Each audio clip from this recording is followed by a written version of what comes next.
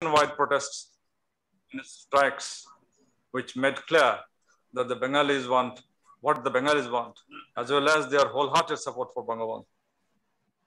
The drive towards emancipation of the Bengali nation was, was thus started.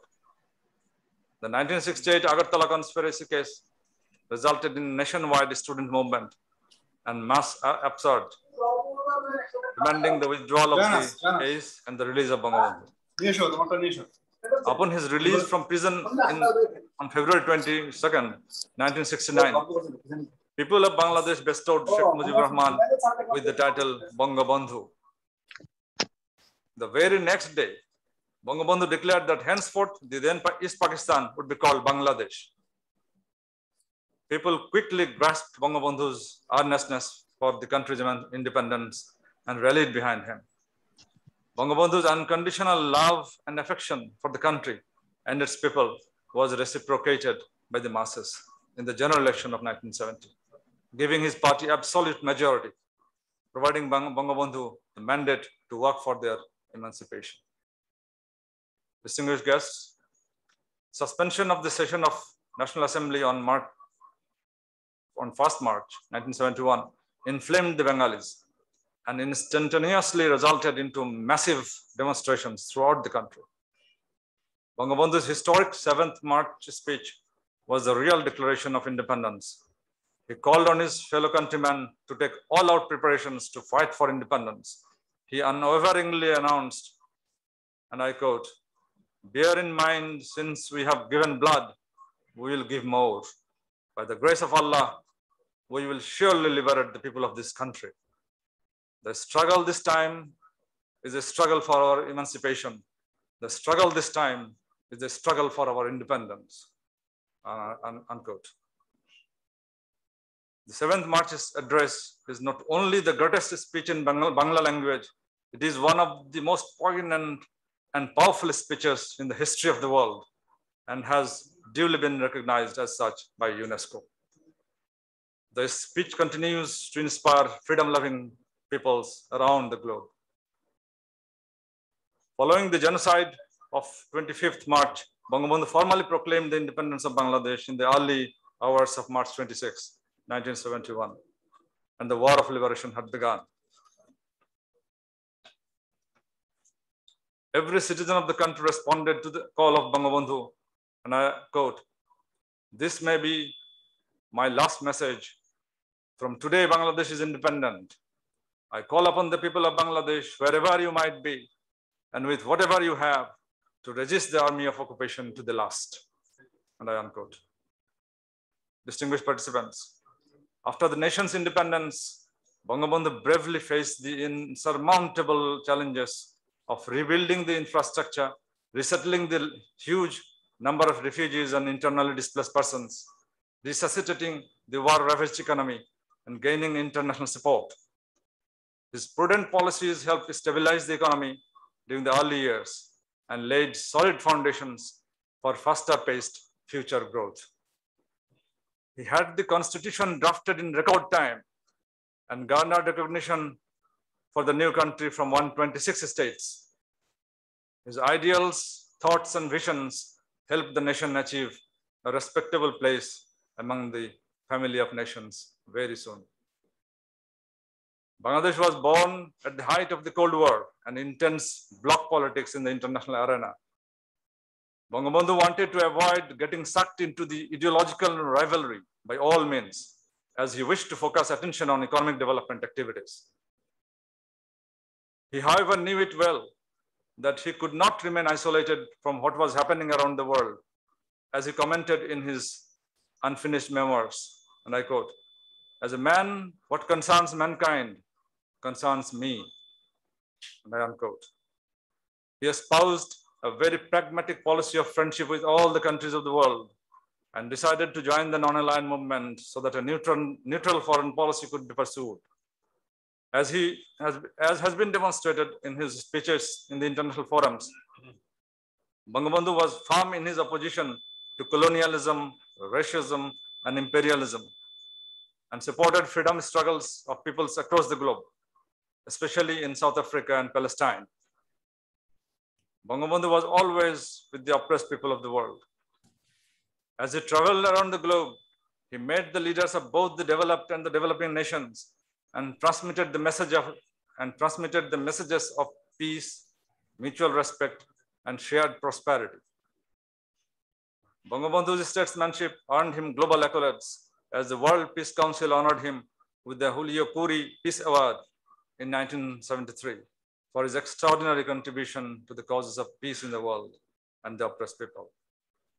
Bangabandhu had a towering personality, and the best compliment was perhaps paid by Fidel Castro of Cuba, as he remarked, and I quote, I have not seen the Himalayas, but I have seen Sheikh Mujib. In personality and in courage, this man is the Himalayas. I have thus had the experience of witnessing the Himalayas. And I unquote. Ladies and gentlemen, it is time now to listen to the distinguished presenters. And our first speaker today is Dr. Syed Anwar Hussain, who does not need an introduction. Just to say that he is currently Bangabandhu Chair, Professor at the Bangladesh University of Professionals. Over to you, Dr. Hussain. So, okay.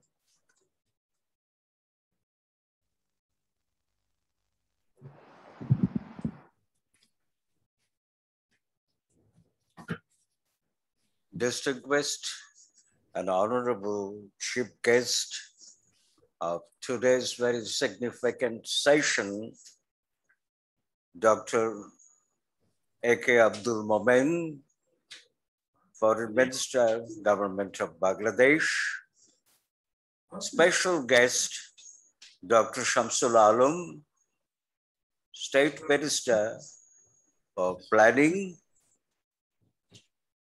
distinguished chair of BIISS, Ambassador Fazlul Karim, and dear Director General, Major General Imdadul Bari, NDC PSC Dr. Atiur Rahman, Excellencies, ladies and gentlemen, Assalamu alaikum and good morning. My paper concerns entirely with the emancipation of the Bagali people at home. No reference is, however, made to Bangabandhu's diplomatic debarques, and it is titled Bangabandhu, Bangladesh, and Bangali Emancipation. Ladies and gentlemen, I have traced the genesis of the independent entity of Bangladesh from the time of Shashanko, who in 594 AD established the first Bengali independent kingdom at Gaur by repudiating the Gupta rule over Bengal. Shashanko was 100% Bengali. The next episode of Bengalese independence was provided by the Pala rule in Bengal between 750 AD through 1161. Let me reiterate here that Palas were sons of the soil like Shoshanko. And they, their kingdom earned niche for respect and reverence throughout the subcontinent. The next episode of Bengal's independence was provided by the independent sultans of Bengal between 1336 AD through 1576 AD. Let me mention here that the independent sultans were outsiders. They had their own compulsions to keep their kingdom independent. They did keep Bengal independent and also stopped transfer of financial resources outside of Bengal to Delhi. Monarchy being the leading mode of administration, the people, however, were not free. But they did enjoy the status of being inhabitants and denizens also of an independent kingdom. Ladies and gentlemen, the spells of independence from the ancient through the medieval time did show that the people didn't have anything to do with whatever happened at the upper rung of administration. The first time an independent entity of Bangladesh emerged in 1971, wherein people had a voice with people's participation. And the architect of this Bangladesh was Bangabandhu Sheikh Mujibur Rahman. And throughout the struggle for this independence, Bangabandhu was the prime leader calling the shots.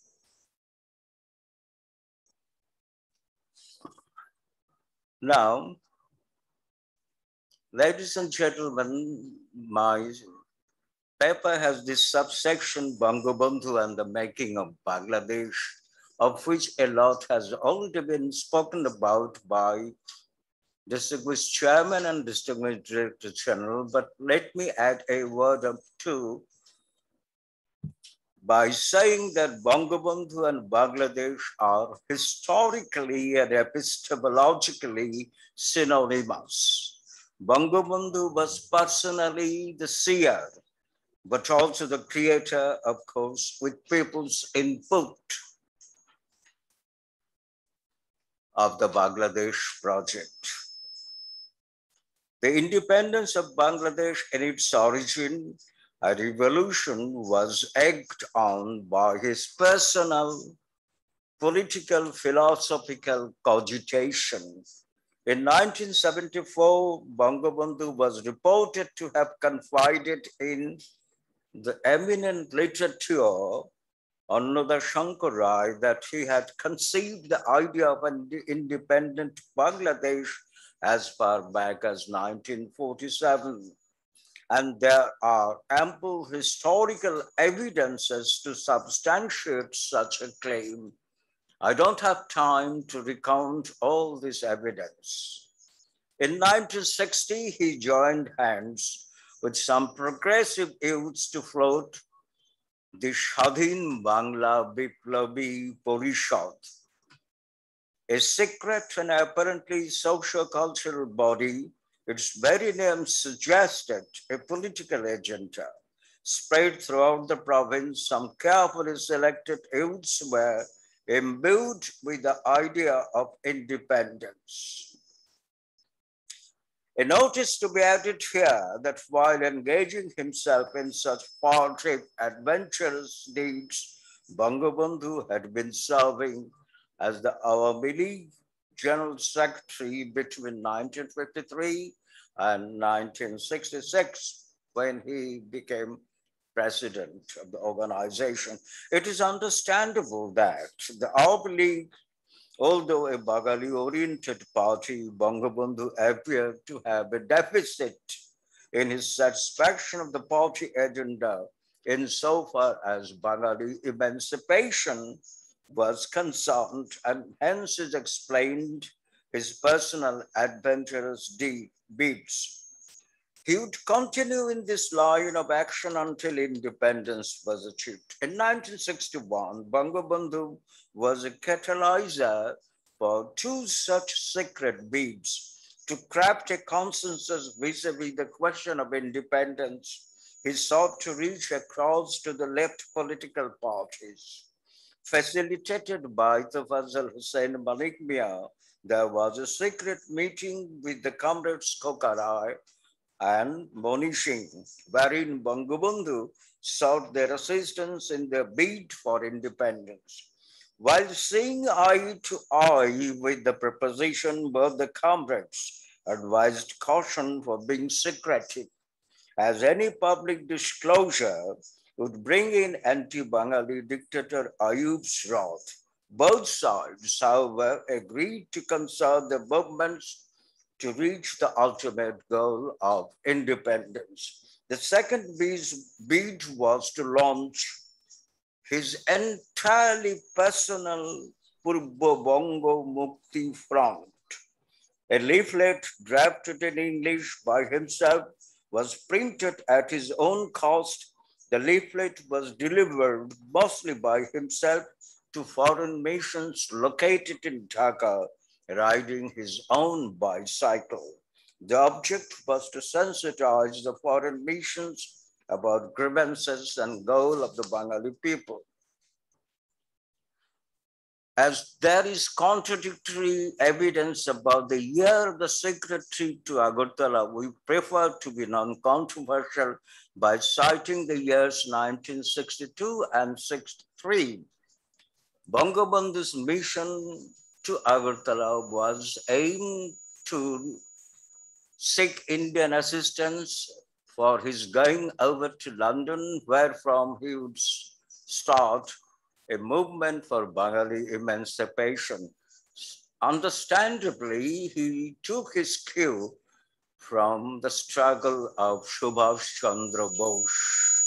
Unfortunately, Jawaharlal Nehru, the Indian Prime Minister, immediately after the uh, humiliating experience of the India-China war was not ready to engage himself in such an adventure. Despite the fact he did agree with the goal of the mission, it was assured that Bangladesh, led by Bangabandhu, would certainly get future assistance and help. So Bangabandhu had to return empty-handed. Nevertheless, ladies and gentlemen, this was, this trip was indicative of Bangabandhu's intensity of purpose for the achievement of which he even hazarded his personal security and safety. The next way station towards independence was the six-point program and the rousing movement issued therefrom. Dubbed the Charter of Emancipation, the program initially sketched out a plan for political emancipation and the socio-economic emancipation would wait until independence was achieved. Inhering in the program was political, economic, and military autonomy of the then East Pakistan as had been adumbrated in the Lahore Resolution of 23rd March 1940. Bangabandhu bared his mind to the NAP pro-Moscow Supremo Professor Muzaffar Ahmad that his only one point was independence put across equivocally, as reported to this writer by Professor Ahmad. The Ayub regime retorted to the six-point demand by foisting upon Bangabandhu and 34 other pro-Bengali civil and military officials the Agartala conspiracy case. Let me remind here that Bangabandhu used to call this conspiracy case Islamabad conspiracy case, and I think we should call it so. The youth movement called the 1969 mass uprising was mounted to confront the trial of Bangabandhu and others under this case. The slogans raised by the youth as the uprising gathered stridency showed the extent and depth of public support for the demand of independence. Under the sheer weight of popular movement, the Ayub regime retracted. The case was withdrawn on 22nd February. Bangabandhu, along with other accused, were released. This episode demonstrated the strength of people power against even a military dictatorial regime. This was also important of the things to come vis-a-vis the run-off towards independence. Moreover, this was a litmus test of leadership for Bangabandhu, which he got through successfully, as on the following day after his release, a public reception at the, the then Race Course bestowed upon him the epithet of Bangabandhu. Indeed, the six-point movement and the conspiracy case skyrocketed Bangabandhu's popularity and catapulted him to the position of the sole Bengali spokesman.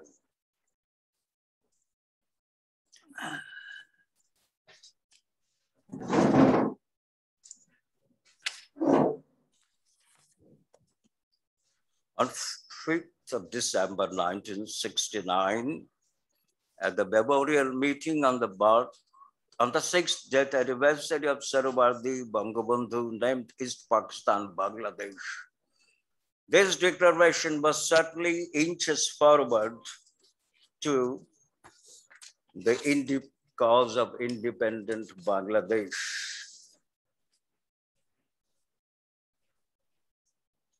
The 1970 general elections were about to be boycotted as many senior Awami League leaders were averse to participating in meaningless elections because of the restrictions that had been imposed by Yahya Khan's legal framework order. This document sought to tie the hands of Bangabandhu in a way that he would not be able to recast the constitution as per the six points.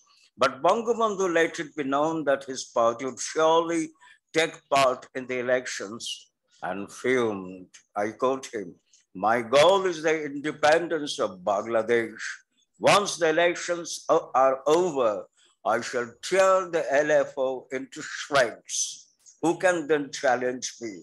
The statement originated out of his immense self-confidence that he had and his party that he had to the effect that his he and his party would win the elections. History thereafter substantiated this self-confidence and rare farsightedness of Bangabandhu. In the National Assembly, the Awami League backed 167 out of 169 seats. In the Provincial Assembly, 288 out of 300 seats that the party garnered a landslide victory and the architect of which was charismatic Bangabandhu himself. But the winning party was denied the expected political space through the machinations of the triumvirate comprising Yahya, the military and over-ambitious Bhutto, even the National Assembly scheduled to begin its session in Dhaka on 3rd March was postponed without giving a new date. The Bengali people, led by Bangabandhu, reacted by mounting the unprecedented non-cooperation movement, thus creating the tumultuous March days from 1st through 25th of March, which in fact were the distant thunder for the Pakistani military junta. Ladies and gentlemen, the two monstrous March days were marked by a number of milestone events as Bangladesh neared independence. First and second March, Shadin Bangla Chhatra Sangram Parishad hoisted the green, red, golden flag of the would-be independent country atop the Arts Faculty building of the University of Dhaka. Second and third March, the same group of youths at the Paltan rally proclaimed the Manifesto of Independence, wherein Bangabandhu was declared the supreme leader of the country. In other words, he was declared father of the nation. Third, Bangabandhu's decisive speech, I call it decisive speech, like there are many decisive battles and wars in the history of the world speech, Bangabandhu gave an equivocal call for independence to be achieved through a people's war fought with guerrilla tactics. Fourth, there were Mujib Yahya parleys joined later by Bhutto between 16th and 24th March. Bangabandhu's intent on joining the police was to get across the message that he was a democratic leader and wanted a democratic solution to the political impasse. Yahya plus Bhutto had a different bent of mind. They were dilly-dallying to buy time to complete military preparations for the eventual military assault on the people. The philosophical basis for the military solution to political crisis had been decided as far back as February 1971 when Yahya, in a meeting of generals in Rawalpindi, was reported to have wrote, quote, kill three million of them, that is the Bagalis. The rest will eat out of our hands, unquote. It appears that by 25th March, military preparations had been complete for launching the Operation Searchlight. Thus, having given green signal for the operation, he uh, eased himself out of Dhaka in the evening of 25th March. Bhutto did the same thing in the following morning with the self-congratulatory words, quote, thank God Pakistan has been saved, unquote. He would soon realize that in fact this was the beginning of the death throes of Pakistan. Ladies and gentlemen, in his interview with David Frost on 18 January 1972, Bangabandhu divulged that he would have liked the Pakistan side to attack first and then the people would be in war in self-defense. This was exactly how things happened following the launching of the Operation Searchlight by about 11 p.m. Moreover, he had now ample reasons for making a formal declaration of independence as it was by 12.20 a.m., Bangabandhu recorded his declaration, which began with the word scout. This may be my last message. From today, Bangladesh is independent, unquote. By 1.30 a.m., he was arrested and later transported to Pakistan, where he had to pass 290 days of solitary imprisonment Death was staring at him. Ladies and gentlemen, as Bangabandhu was incarcerated, Bangladesh confronted the Pakistan occupation forces. As per the directives contained in the 7th March speech, the people, especially the freedom fighters, waged a people's guerrilla war. The resultant liberation war was of eight months and 21 days. Ladies and gentlemen, not nine months, which we usually call. Eight months and 21 days was the shortest of such wars in, the, in history. Although physically away in Pakistani captivity, Bangabandhu remained the guiding spirit and beacon light as his people trudged along the uphill path of war. This kind of non-physical and entirely spiritual leadership is perhaps a rarity in the annals of leadership. The war was fought to success. In this asymmetric war, Bangladesh was the weaker side. But despite that, the occupation forces capitulated and surrendered humiliatingly on December 1971. Once again, the enormous might of people power prevailed over the marauding military juggernaut. Indeed, Bangladesh is the gift of a nexus between the leadership and between leadership and people power. Ladies and gentlemen, now I switch to my subsection titled Bangabandhu and People's Emancipation in Bangladesh. It was sheer providence plus international pressure to save his life, the lead of which was in the Indira Gandhi that Bangabandhu could come back if not well to Bangladesh in the afternoon of 10 January 1972. On the homecoming of Bangabandhu, the Guardian the fortunate As soon as Sheikh walks out of the Bangladesh port, Republic of Bangladesh becomes a reality. Unquote. It is without existence, been a state. That was how Muthama as the international media.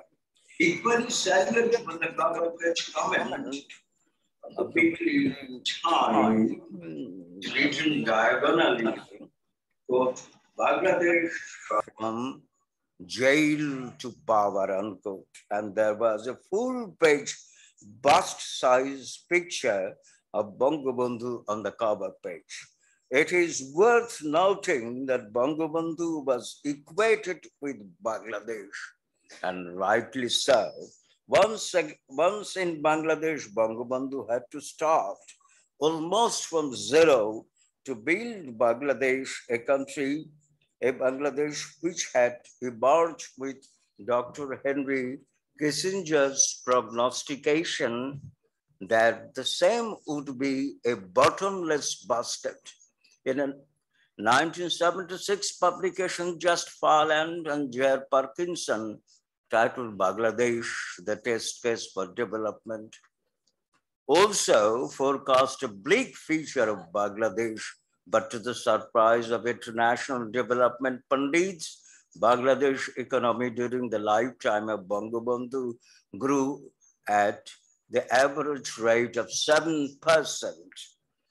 In his homecoming address, Bangabandhu gave out ample indications as to how he would go about the odious task of rebuilding the country. One such major indication was that, quote, Bangladesh will be an ideal state and the basis of which will not be any religion. The basis of the state will be democracy, socialism, and secularism. It may be mentioned that nationalism was added at the time of writing the Constitution as the fourth fundamental principle of the state. The people were exhorted to wage a struggle for emancipation. On 14th March 1972, in their speech, Bangabandhu raised the slogan, quote, this time the struggle is for building the country, unquote. Bangabandhu's vision for an exploitation-free Sonar Bangla was succinctly put forward in his Rajshahi address of 9 May 1972, wherein he said, quite poetically, what do I want? I want the people of Bangla to get two square meals a day. What do I want? I want the jobless to get job. What do I want? I want the people of my Bengal become happy. What do I want? I want that my people move, move about in a jolly mood. What do I want? I want the people of Bangla smile again to their heart's content, unquote. Bangabandhu had in total 1,314 days to serve the country, which were divided into two phases. Pre-Bakshal, that is 10 January through 24 January 1975, and post-Bakshal, 233 days. During the first phase, the trend was to reconstruct Bangladesh with whatever was available administrative and otherwise. There was, in fact, no time to improvise everything new. The imperative was first to bring back the totally devastated country to at least a running position. Consequently, mostly the Pakistani personnel and machine huddled along the new in the new Bangladesh. The experience which Bangabandhu gathered during this phase had been a mixed one. Indeed, the turnaround by the Bakshal was an inevitable consequence of what had happened in the first phase. Bangabandhu himself characterized the new system as the democracy of the oppressed in a socialist matrix. The Bakshal had all the potentialities to effect a revolutionary turn around for Bangladesh. Bangabandhu himself dubbed Bakshal the second revolution, meaning 1971 to be the first. But it is, ladies and gentlemen, humbly suggested that as per definition and implied meaning of the construct of revolution, 1971 defies revolution. And the Bakshal was the first ever and only revolutionary move in Bangladesh, which, however, remained unfinished like its author's unfinished life. Bangabandhu was killed when his age was 55 years, 4 months, 29 days. Ladies and gentlemen, now I conclude. Bangabandhu was a political leader per se, but certainly not a literature of any sort, although he had a good knowledge of world literature. He did write a poem conceiving the state of the country while handing the poem to his confidant Abdul Ghaffar Chaudhry sometime in 1973, Bangabandhu ridiculed himself by saying, if it is not a kobita, it is at least a gobita. এটা যদি কবিতা না হয় অন্তত গবিতা তো হয়েছে এবং তার বাংলা কবিতাটি ছিল এভাবে লেখা আমার কবিতা নীরবে নিভৃতে কাঁধে বাংলার ভদ্র লোকেরা চুরি করে তাদের দুশ্চেন কাউন্সিলর। মানুষ ঠকায় ফেলে ফাঁদে। লাল ঘোড়া দৌড়াতে চায় বুকে পাই ব্যথা। জুরাইনের বাসিন্দা পলাশ। প্রথম ডেঙ্গু আক্রান্ত হয় তার বড় মেয়ে কয়েকদিনের মাথায় আক্রান্ত ছোটটিও তবে নানা হাসপাতাল ঘুরেও বাঁচাতে পারেননি। আমি ইংরেজি অনুবাদ করেছি my poem wells in silence and isolation the gentleman of Bengal still and treat people by ensnaring them in trap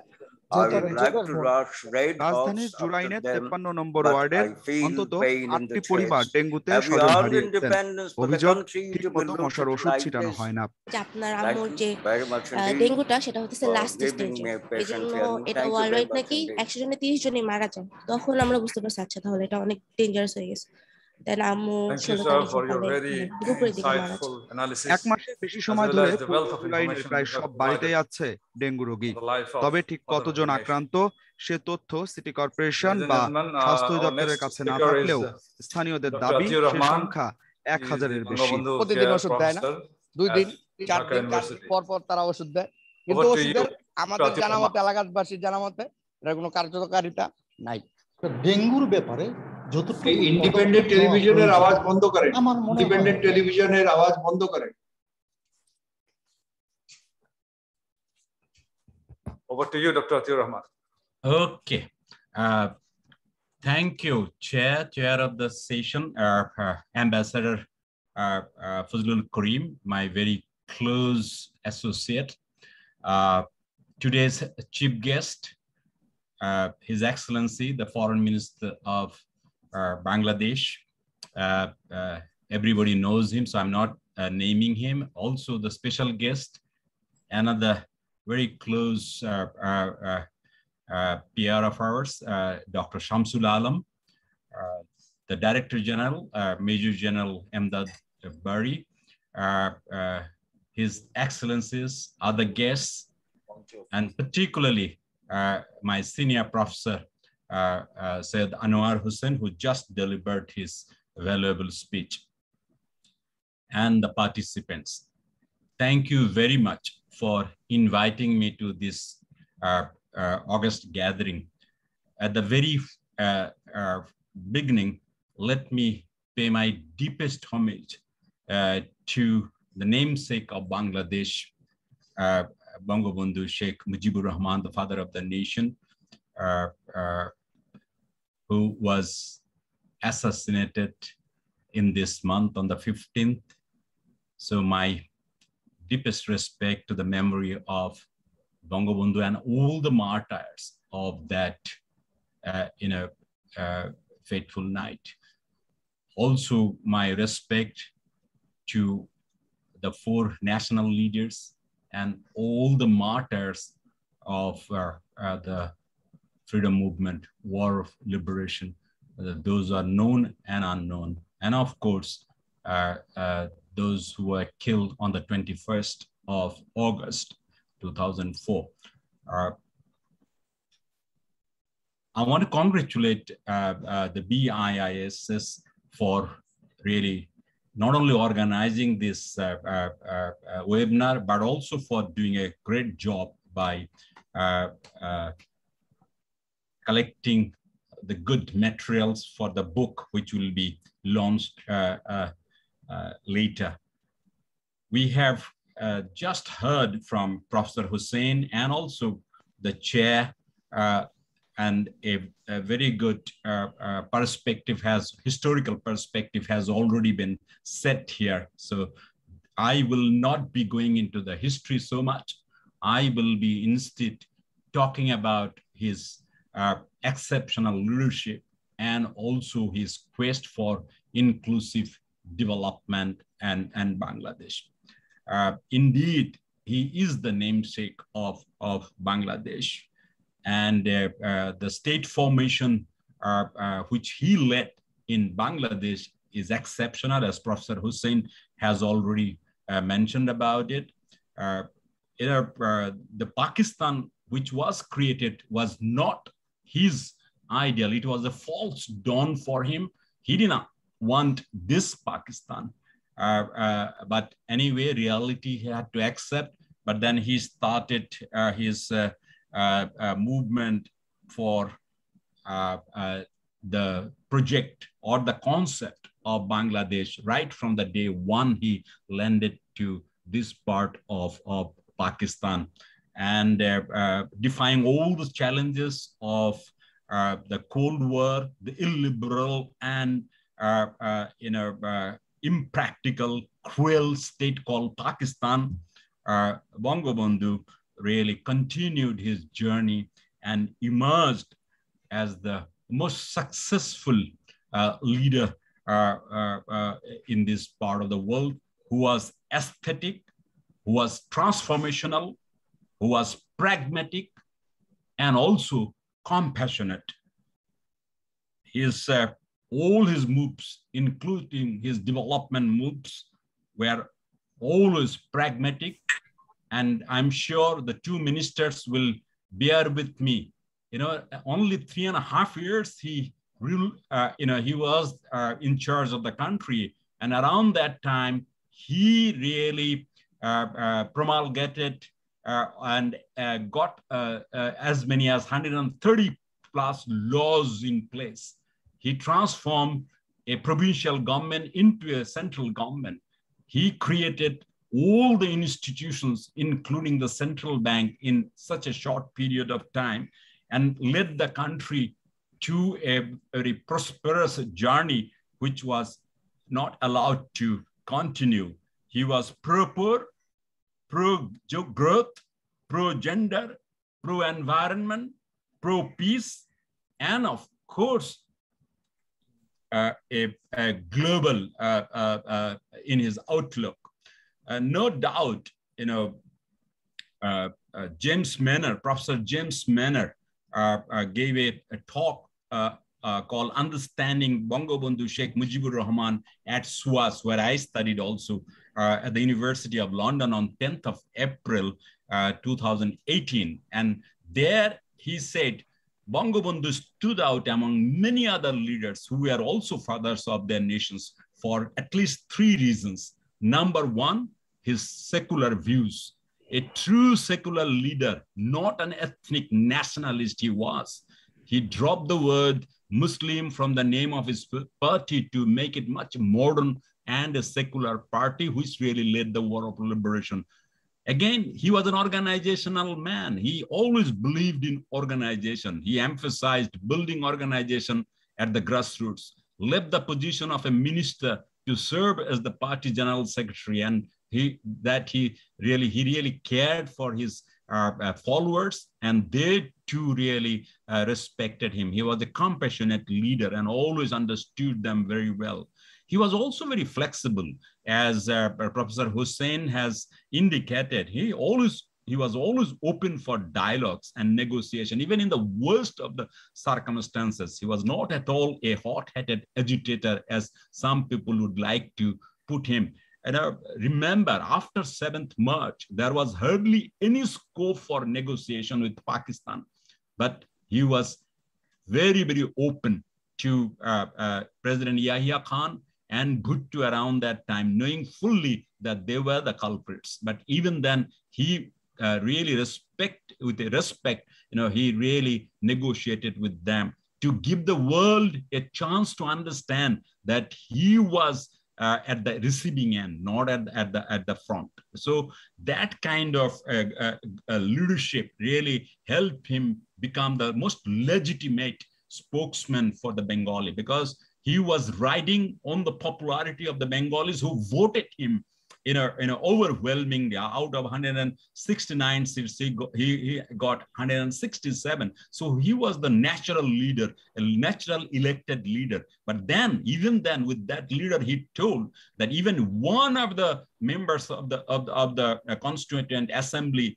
or the national assembly really differed. He would take care of the differing views. You know that was the democrat uh, you know a born democrat as he was he was his movement for uh, uh, uh, Bangladesh really started from at the early stage, and he always really cared for the uh, uh, you know you know people. You know his his the the ordinary people was at the at the center of his struggle for independence. Bangabandhu's politics was focused on realizing the rights of the marginalized. If you remember, when he came back from Calcutta and uh, he started uh, uh, the uh, you know language movement, you know he he said that this was not a movement for language only. It was it was later he said on on the 21st of February in 1953 in Armanitola that this was our life and death question, you know, Jibon Moroner Lorai. And then he said this was the this was the struggle for our uh, accommodation for our education and for our uh, uh, uh, uh rights you know? So he it was it was and there was a socio-economic perspective of that movement. Again when authorities didn't respond to his normal demands because he used to make demands as you remember even at the early stage he worked uh, he really led the dawals the the the the farmers you know the casual farmers who used to uh, work for many of the uh, uh, you know uh, uh, rich farmers could not collect the wages in in paddies, and he really went out for them to really make this dawal movement. But he would then ask for it and, and would always try to negotiate. He led political movements to realize the rights. Only when the political movements were foiled by the conspirators, he started leading the struggle for independence with arms. So you must see that in born, you know, he, he was he was a Democrat, but he was just.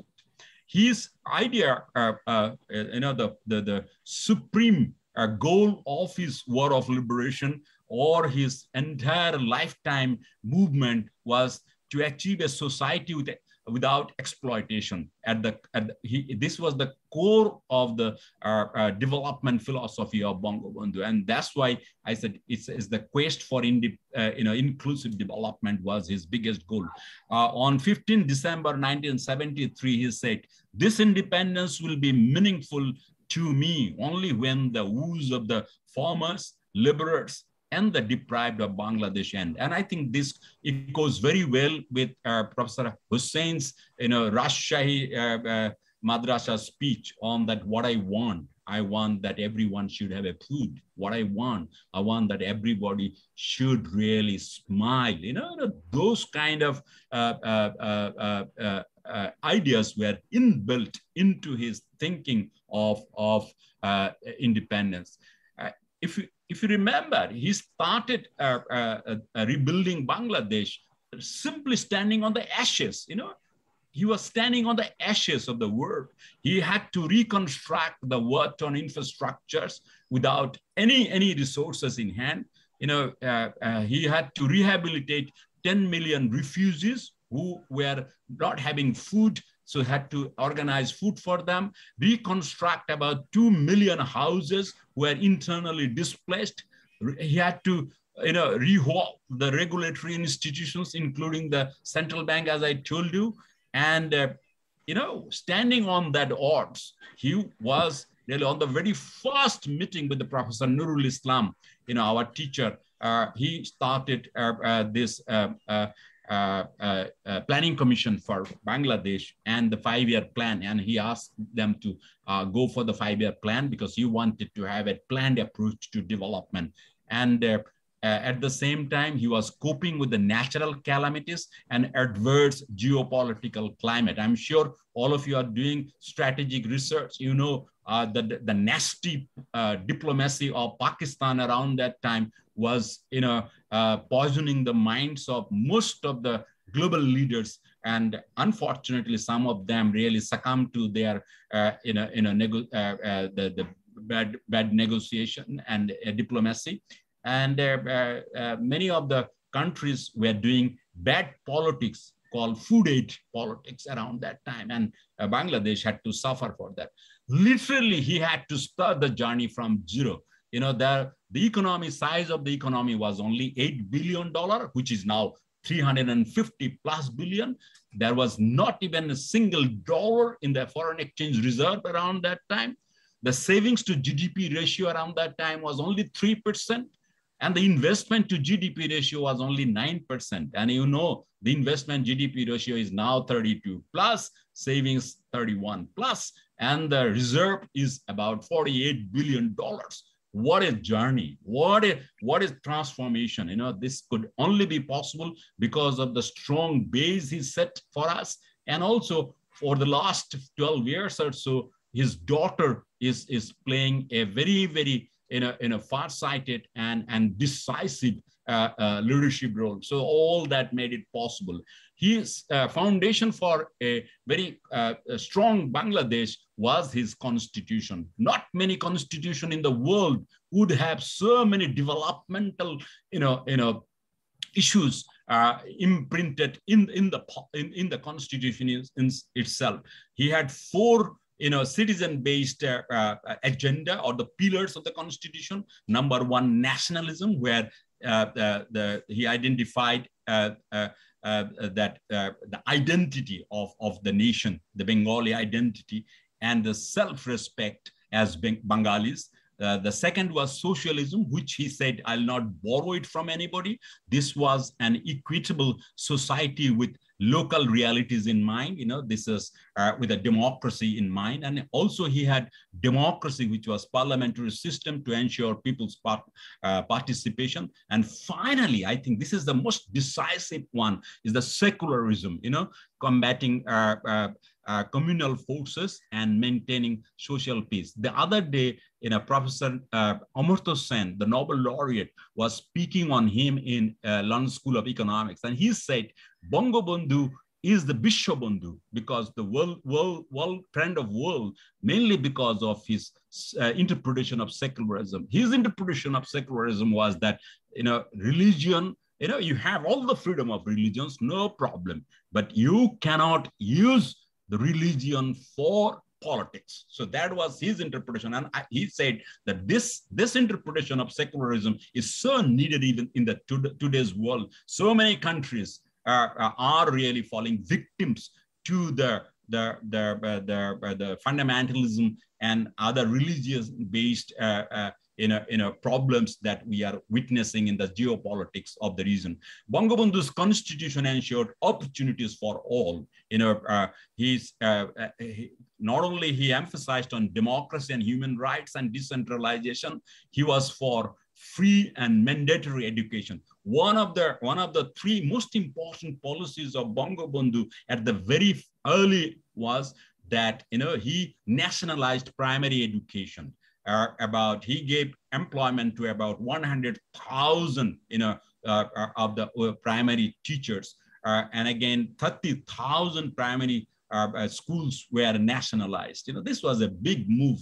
Secondly he went for you know social consciousness raising for family planning. You know that was another great move. Thirdly he went for you know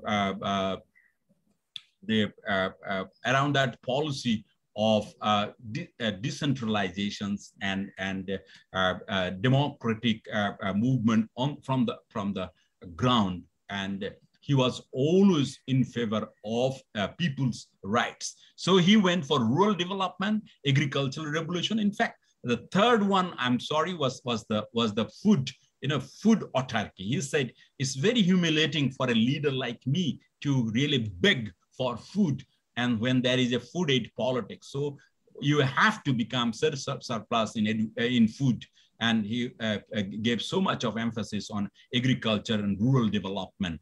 Uh, uh, emancipation of the workers was also in, written in the constitution cooperation fostering private sector was there, right to employment and basic needs approach, and a special focus on women's you know, in, in emancipation was also written in the constitution. So uh, in later we also added in the constitution the, the preservation of the nature. So these are fantastic uh, constitution that we, we now have he was always in favor of education. He prioritized education for emancipation of the masses and advocated investing 4% of the GDP for education. In 1970, uh, when he gave this pre-election speech, he said that we need at least 4% of the GDP in education, which even today we could not go that far. So he was so far-sighted. He, uh, uh, uh, you, know, you know, created this Kudrote Khuda Commission to train a workforce that will be optimistic about the country.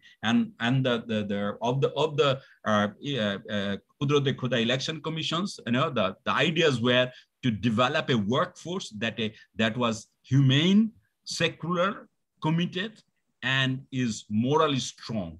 And he wanted also uh, to develop leadership, character, respect for physical labor, and Bangla to be the medium of instruction. Another idea was science and technology education should get the priority, prioritizing education for girls and women. And finally, the goal of higher education to create graduates who will work for an equitable society. These were the ideas of education, the inclusive development I'm talking about. And education is the road to civilization, as you all know. So he was really mending the small roads you know, to go to that higher ends of civilization. He worked on two legs for balanced development. You know, agriculture was one leg, industry was his other leg. Agriculture to provide food for huge population, the largest portion of the workforce of the newly independent country to be employed in agriculture. Agriculture will supply raw material for industries and demand for goods. And that's why he said that there is no alternative to increased agricultural production in the context of the politics of aid aid, the nasty politics of aid. I'm sure the foreign minister would clearly understand that because he has been negotiating. So uh, on the strategy for industrialization, you know, he was, uh, of course, uh, initially for state-led, uh, uh, you know, uh, development, but but he was not closed. You know, his ideas were not closed. He had windows for private sector and also for the cooperatives. The state took the initial responsibility of industrialization because all the entrepreneurs were Pakistanis and they left suddenly. So there was no option but to take, again, the commitment for his style of socialism was also inbuilt into this state-led industrialization that we saw. And the first five-year plan emphasized on creating an uh, enabling environment for the private sector as well. And back in 1974, 75, he raised the ceiling of really uh, private investment from 2.5 million taka to 30 million taka just uh, overnight. And, and 133 abandoned units were handed over to private sector. So he was not against private sector. He was just waiting and balancing. Even today, you know, we have a strong uh, uh, uh, state sector, but again, private sector is playing its interesting role. So he was indeed the leader, was the was the driving force. Uh, Professor Nurul Islam, the deputy chairman of the Planning Commission during Bangabandhu's period, said, "We assume that."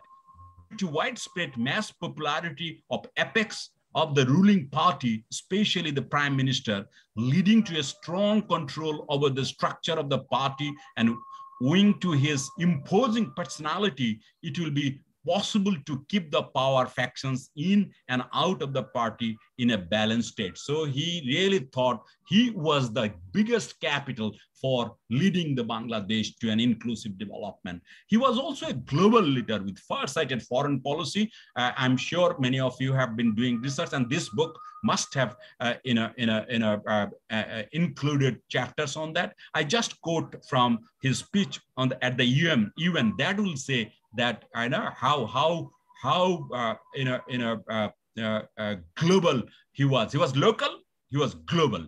He looked inside, he looked outside. So he, he, was a, he was a very balanced leader. He said, we can look forward to a world where human creativity and the great achievements of our age in science and technology will be able to shape a better future free from the threat of nuclear war and based on sharing of technology and resources on a global scale so that men everywhere can begin to enjoy the minimal conditions of a decent life. Even in his foreign policy, he's bringing the people's uh, you know, in a decent life in, into his foreign policy. So he was so much a humane leader, a compassionate leader.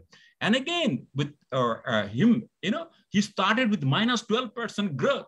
And that country really moved forward under his leadership, you know, and despite resource constraint, you know, he was committed to building institution infrastructures, human capital for attaining inclusive development. And you see this in this diagram, you know, uh, that you know he started with a per capita income of only $93.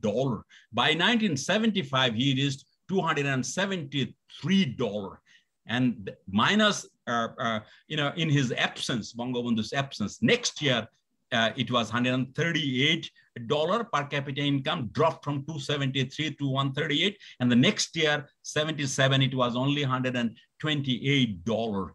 Uh, uh, and uh, within less than four years per capita income almost in a in a in a in a, in a triple as we have seen but the nation got derailed when the bangladesh uh, or uh, bangabandhu was killed uh, uh, on 15th august. After you know uh, it took 13 more years to really reach 1975 years or 75 uh, per capita income.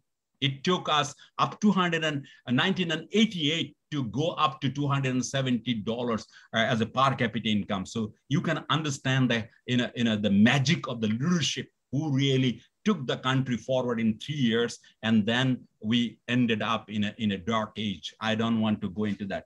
i am almost done. You know, uh, uh, uh, I, I could speak for hours, but now I want to really concentrate on his leadership quality and, and conclude uh, the traits that made him a great leader. You know, he, he could generate emotions. He used to encourage the people to struggle for decades.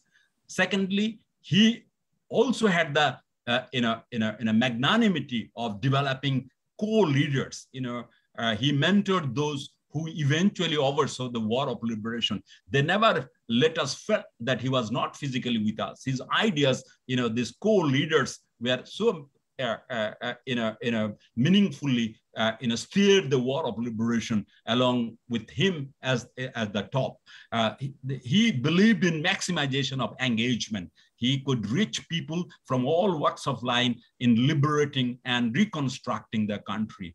And he had long-term vision. He was not always short-term. He had long-term vision, like his daughter, who is now thinking about 100 years of Delta plan. So he was, he always dreamt of a prosperous Bangladesh, Sonar Bangla, and emphasized on long-term planning for people-centric transformation of Bangladesh, a truly a transformation leader. It's off to him. I will just now uh, recite a poem from uh, Shamsur Rahman to pay my homage to these greatest of the great leaders, uh, not only of Bangladesh, but also of the, uh, of the world. Hail that man on whose name the sun shines down eternally. Like a song comes down the rains of Shravan, whose name never collects dust. Hail that man over whose name the moonlight crane spreads its wings. Hail that man on whose name liberation flutters like a flag. Hail that man whose name echoes in the victory cries of freedom fighters. ধন্য সেই পুরুষ যার নামের উপর রৌদ্র ঝরে চিরকাল গান হয়ে নেমে আসে শ্রাবণের বৃষ্টি ধারা যার নামের উপর কখনো ধুলো জমতে দেয় না হাওয়া ধন্য সেই পুরুষ যার নামের উপর পাখা মেলে দেয় জ্যোৎস্নার সারস ধন্য সেই পুরুষ যার নামের উপর পতাকার মতো দুলতে থাকে স্বাধীনতা ধন্য সেই পুরুষ যার নামের উপর ঝরে মুক্তিযোদ্ধাদের জয়ন্তনী let's pay homage to that great man, the father of the nation, Bangabandhu Sheikh Mujibur Rahman. And as well as let us celebrate our independence on his birth centenary and also the golden jubilee of Bangladesh, the freedom he gifted us. Let's celebrate it. Thank you so much. Joy Bangla. Joy Bangla. Thank you indeed, uh, Dr. Atiur Rahman, for your very informative and detailed presentation, especially highlighting the contours of Bangabandhu's socio-economic uh, development policies. Uh, and we will uh, now enter into the discussion uh, element of uh, our uh, webinar today there is a small slight change in our program. So the floor is now uh, open for uh, comments and questions. Please uh, do identify yourself and try to be as brief as possible because of the paucity of time. Thank you very much. The floor is open.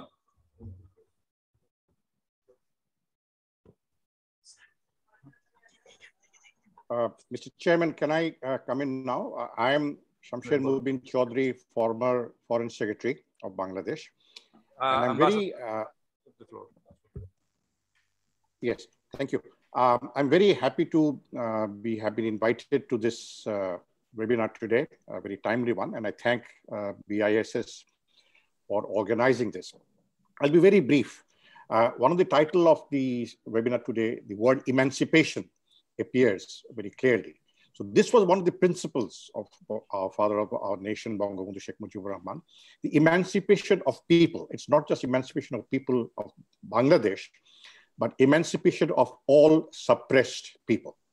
And this is, it is his belief in this, uh, strong belief in this principle that led Bangladesh to recognize the provisional revolutionary government of Vietnam. And I'm so happy to see the ambassador of Vietnam here, and I have myself served as ambassador to Vietnam for four years, as early as 1973, uh, when uh, even before Saigon had been liberated by uh, the forces of North Vietnam. Sorry, it was in January 1975 that Bangabandhu sent a message that we rec recognize the provisional government of Vietnam in Hanoi, which actually represents or the sole and legitimate representative of the people of Vietnam. So this was a very uh, defining uh, uh, demonstration of Bangabandhu's uh, principle of supporting uh, any suppressed people. And when I was ambassador in Vietnam, I had great pleasure in keeping in, in reminding the Vietnamese leadership and especially General Giap, the great fighter who was still alive, that we were among the first non-Warsaw Pact member, and this is, I highlight non-Warsaw Pact member that recognized the Provisional Revolutionary Government of Vietnam. Thank you very much. Uh, thank you, Ambassador Mohammed Chaudhary. And the next.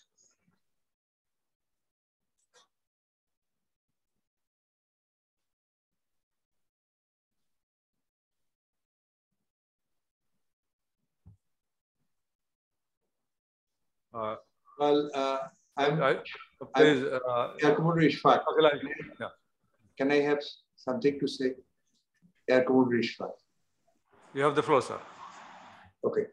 Uh, uh, whatever has been covered today by two eminent speakers, of course, I haven't had the look at the book. Uh, I'm sure uh, it, it will be extremely illuminating and informative. But one thing I want to say as an ex-Air Force person, that uh, Bangabandhu's uh, role in uh, building up the military force in Bangladesh, uh, you know, right from the day one, And uh, we, just like the way uh, Dr. Atiur said, I mean, the banking or central administration, we had almost nothing. Similarly, in the military, we, we had almost nothing. No infrastructure, no, you know, um, sort of organization, organizational structure was developed. So we got into this right from the beginning, from day one. And uh, in uh, Army headquarters organized, the Air Force headquarters organized, the Naval headquarters organized, the arms and equipments. I have written about it in, in a number of articles. And, you know, in Bangabandhu, in his first uh, visit to Moscow, uh, soon after that, he, uh, our AVM Khandakar at that time, the chief of air staff, he visited and we got our, we had no aircraft. We got the latest MiG-21 aircraft and the transport aircraft, the helicopters, nearly 400 uh, plus uh, officers and men were, uh, went to uh, Soviet Union at that time to get the training. Similarly, we the Navy had no uh, ship, what mentioning. So when Marshal Tito came here, soon after that, we got our first, Navy, Navy got the first modern uh, patrol boat at that time. And some of them may be still flying, I don't know. Similarly, the tanks came from, uh, we didn't have, so they came from uh, Egypt because in 1973 war, we sent two military mission, one to, uh, no, to Egypt, we sent some tea. That was the thing we, we could do at that time, and also a medical mission to Syria. So from Egypt, we got this tank. So I want to emphasize, and very soon we had the air headquarters structures the army headquarters structures. We had no experience. We borrowed uh, documents from here and there, and, uh, and uh, we, we got the things done. So that is something often uh, when we talk about economic development, this also should be highlighted. So I thought that, uh, you know, in some forum it will be discussed. Thank you very much. Thank you very much. Your points have been well taken. Yeah, indeed, uh, Bangabandhu actually uh, had, had the plan to develop Bangladesh in every sector. And Dr. Atiur, uh, definitely he had highlighted on the basically social and economic sectors. And uh, with, with the aim that Bangabandhu had to establish an exploitation-free society. So he also had his eyes on other sectors of the country, like as you have rightly pointed out, on, on establishing the army headquarters on Air Force and Navy. Thank you very much. And anyone else who wants to take the floor?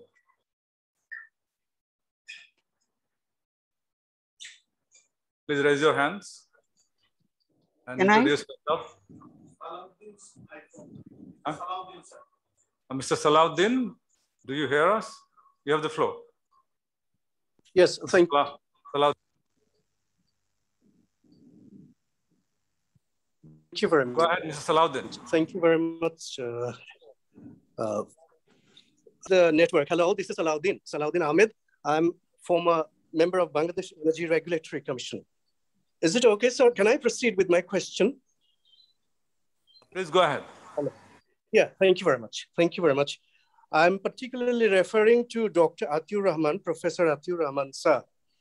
Uh, uh, he was mentioning probably 30,000 plus primary schools were nationalized those days. Very difficult time was that. And now time has changed.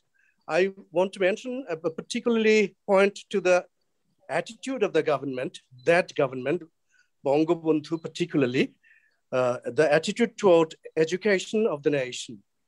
Uh, how can we see the reflection of the same attitude? Of course, time has changed, the size of the economy has changed, many things have changed. How can we see the same reflection of the same attitude of Bangabandhu in the present day government decisions, particularly towards the primary education, its quality, and of course, the weight uh, thank you very much. My question, of course, is to Professor Atiur Rahman. I reiterate, thank you for giving me the floor. Thank you, sir.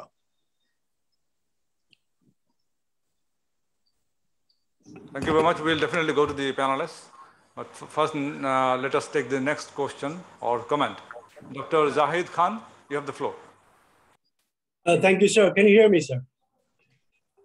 Yeah, loud and clear. Please go ahead. Right, sir. Uh, this is uh, rather much of a, a comment because I have a piece on the book and it's about the uh, enduring principles of uh, Bangabandhu Sheikh Mujibur Rahman uh, about the foreign policy and uh, extracted from the text of his uh, speech at uh, United Nations General Assembly in 1974.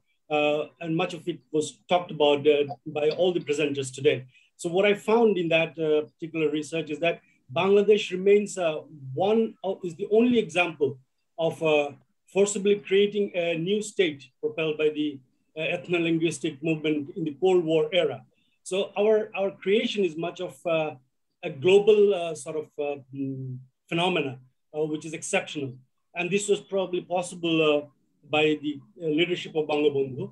And the voting data that I've analyzed on that is about, taken about 1,200, 1,284 resolutions. It reflects that over the period, Bangladesh has remarkably remained consistent uh, around 92 to 100% yes votes on the ideals that Bangabandhu has set forth.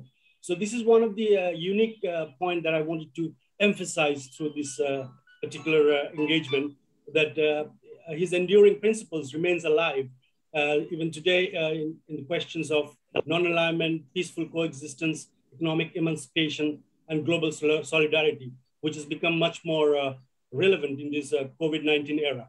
Thank you very much, sir.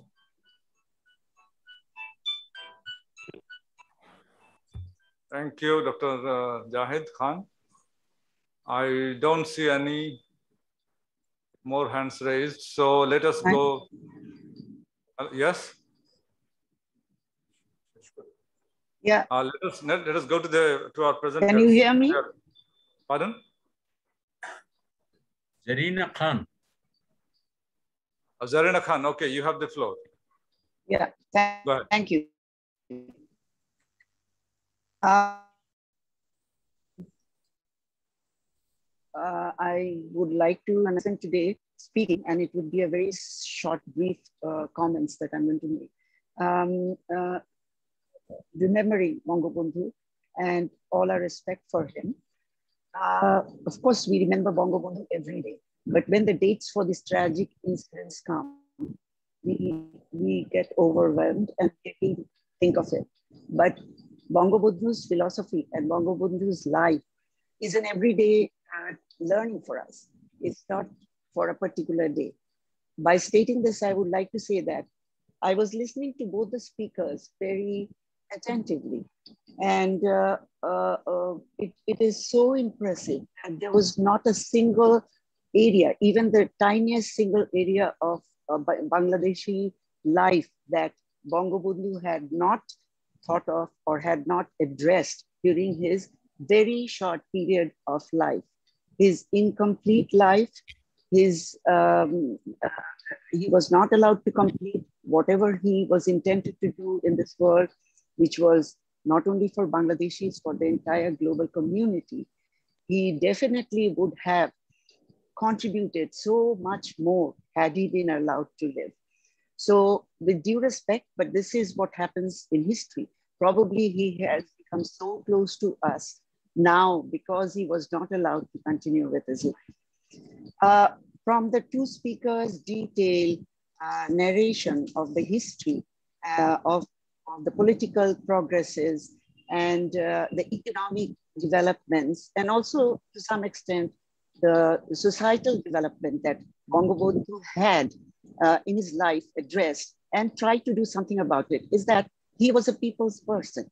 He came out of a community which was basically village based and he was a people's person because of that. And the more I read about him, the more I hear about him, I realized that as soon as he started thinking uh, as a person, he started thinking of the people around him. And I think that is the greatest, greatest lesson that we should learn from him, that he was a people's person and he dreamt of Bangladesh, but he, his dreams were based to me on realities of his fellow Bangladeshis, whether it was social, economic, political, uh, what, uh, uh, you know, uh, physical well-being, whatever it was, it was all based on his concern for not himself or his family, but for the entire Bengali community.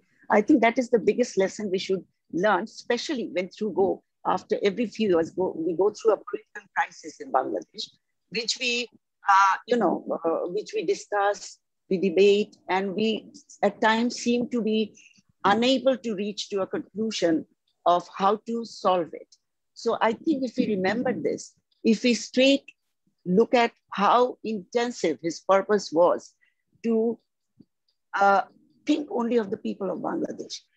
and by the people of Bangladesh, basically he was thinking all the people, the masses who are downtrodden, who were poverty stricken, uh, who had no access to education, who had no access to good health. Everything was left to Allah to, to look after them. And that was what Bangabandhu, I think Bangabandhu thought and said that, no, this can be uh, reversed. This can be, uh, the uh, history of Bangladesh can be rewritten and rewritten so that Bangladesh can come at the top of in the world community. I think he dreamt his dream was based on realities. It was not daydreaming. And that is why we got what we got even after he had left. So Bangabandhu to me uh, is, a, is a person, a very real person, one of us who cared and thought for old and young. He was young at one time, but he was starting to get older but he he always included. I, as far as I remember, I had been as a young girl to go to the university, attended his uh, 7th of March uh, speech at the race course from the fringes. Of course, we, we were not allowed to go in then. Um, and I can remember as many women in that meeting as men. So as a female citizen of this country, I, I did not feel any difference at that point in time or at any point in time whenever Bangabandhu's issues came up or when he was addressing the people, when he was talking to the people. And the other thing which is very striking, and I'm sure all of you will agree with that, he never said uh, Bangalida, Amar Lok, Amar Manush. It was always, he owned Bangladeshi people. He owned all of us. And that is why he could undauntingly carry out what he did in a very incomplete, unfinished, uh, unfinished uh, uh, dreams that he had dreamt.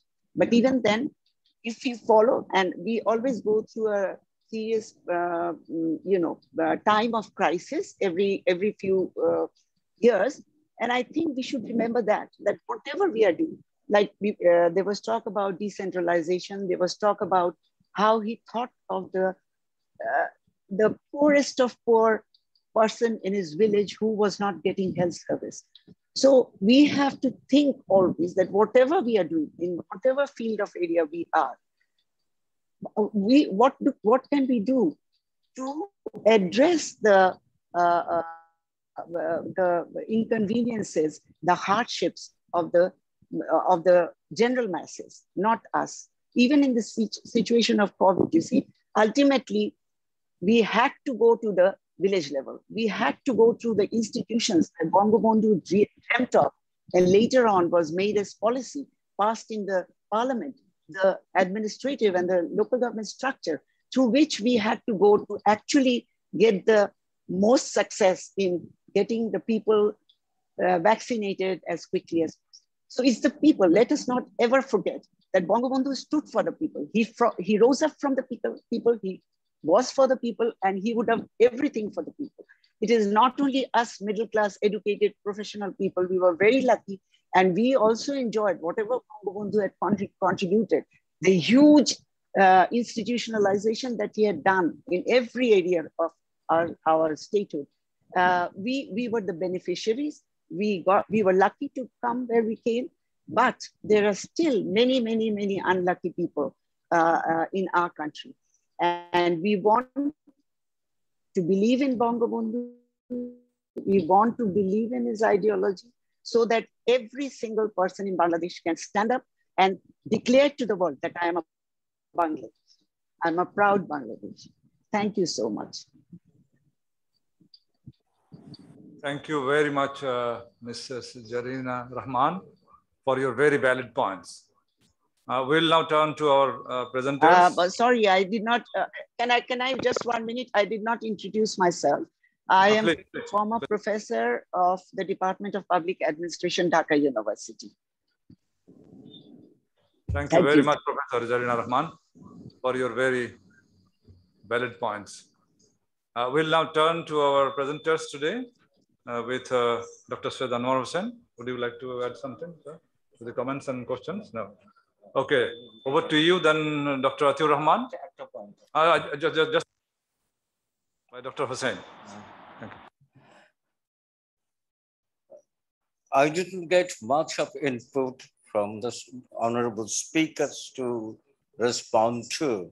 Nevertheless, I got a point from Professor Zarina Rahman Khan. She- While making her comment, she said narration of history. I'm sorry, your use of the word is improper. What I did was interpretation of history. Narration and interpretation are not the same. Thank you. Thank you. Now over to you, Dr. Atiur Rahman. Uh, thank you, Chair. I really want to come in just to thank uh, a lot of uh, uh, the participants have put their comments in the chat box. Uh, I really want to particularly really recognize the comments by uh, uh, Mr. Ramesh Singh, uh, by Mahabub Alam, uh, uh, Mr. His Excellency Shamsher Mubin Chaudhry, and many others for really hearing my speech and giving their minds. I also recognize the comments by Professor Jarin Rahman Khan.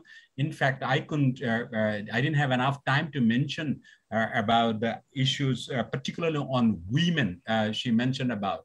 Uh, I would particularly request the participants to read his book, you know, New China 1952, if you really want to know more about the women and also about the marginalized. How that, you know, back in 1952, when he was only 32, he was not a mid, he was not a member of the parliament, he was not a minister, he was the joint secretary of the party. And there he looked for you know, you know, you know how women were rehabilitated and reformed in, in, in that country, how the prostitution was you know, you know, you know, reformed and abandoned, how how their the the beggary was was uh, uh, uh, you know, you know, uh, uprooted, how the women were going to the even the you know army and uh, about 40% of them were participating in the in the formal labor force. And then he he he went to the you know workers uh, uh, colonies. He went to the agri uh, farmers factory, farmers farms. Uh, uh, so he he was looking. He was as if he was preparing for this big role which he was anticipating. And and this particular book, I would say, you know, you know gives you a lot of uh, you know information about inclusive development that he was really trying to do through his constitution, later plans and everything. A lot of things he really learned from his own in a life. You know, he, it was his li lifelong struggle for inclusive development, and that is what uh, uh, Zarina has really tried to uh, push. And I really want to thank for that. And as for uh, the uh, Salahuddin's comment on primary education, let me give the answer in the words of Rabindranath Tagore.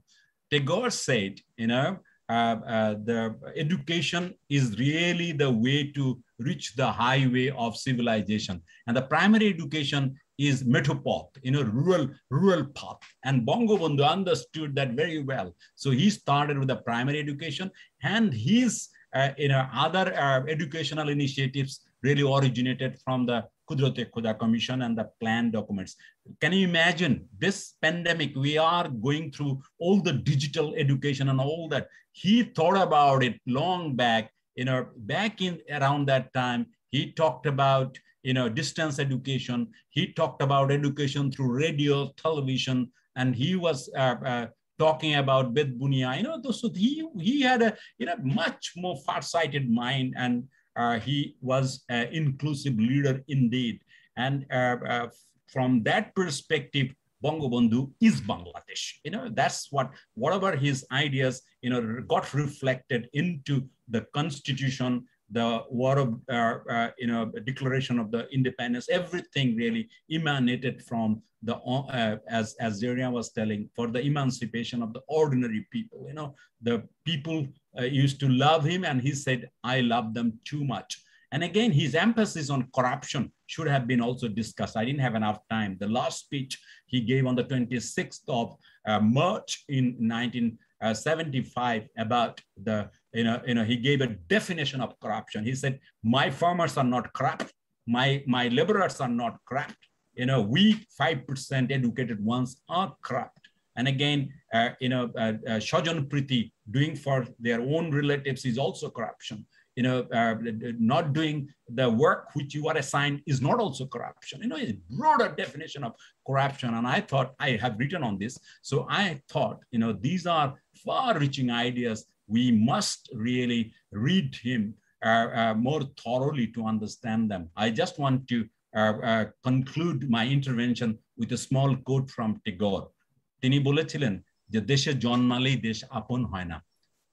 দেশকে জানতে হয়, দেশকে ভালোবাসতে হয়।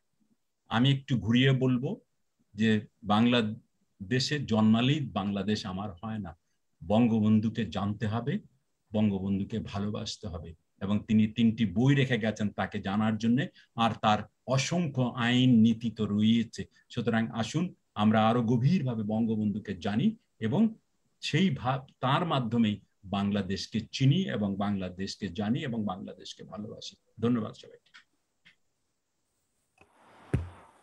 Thank you very much, uh, Dr. Atiur Rahman, for your elucidations.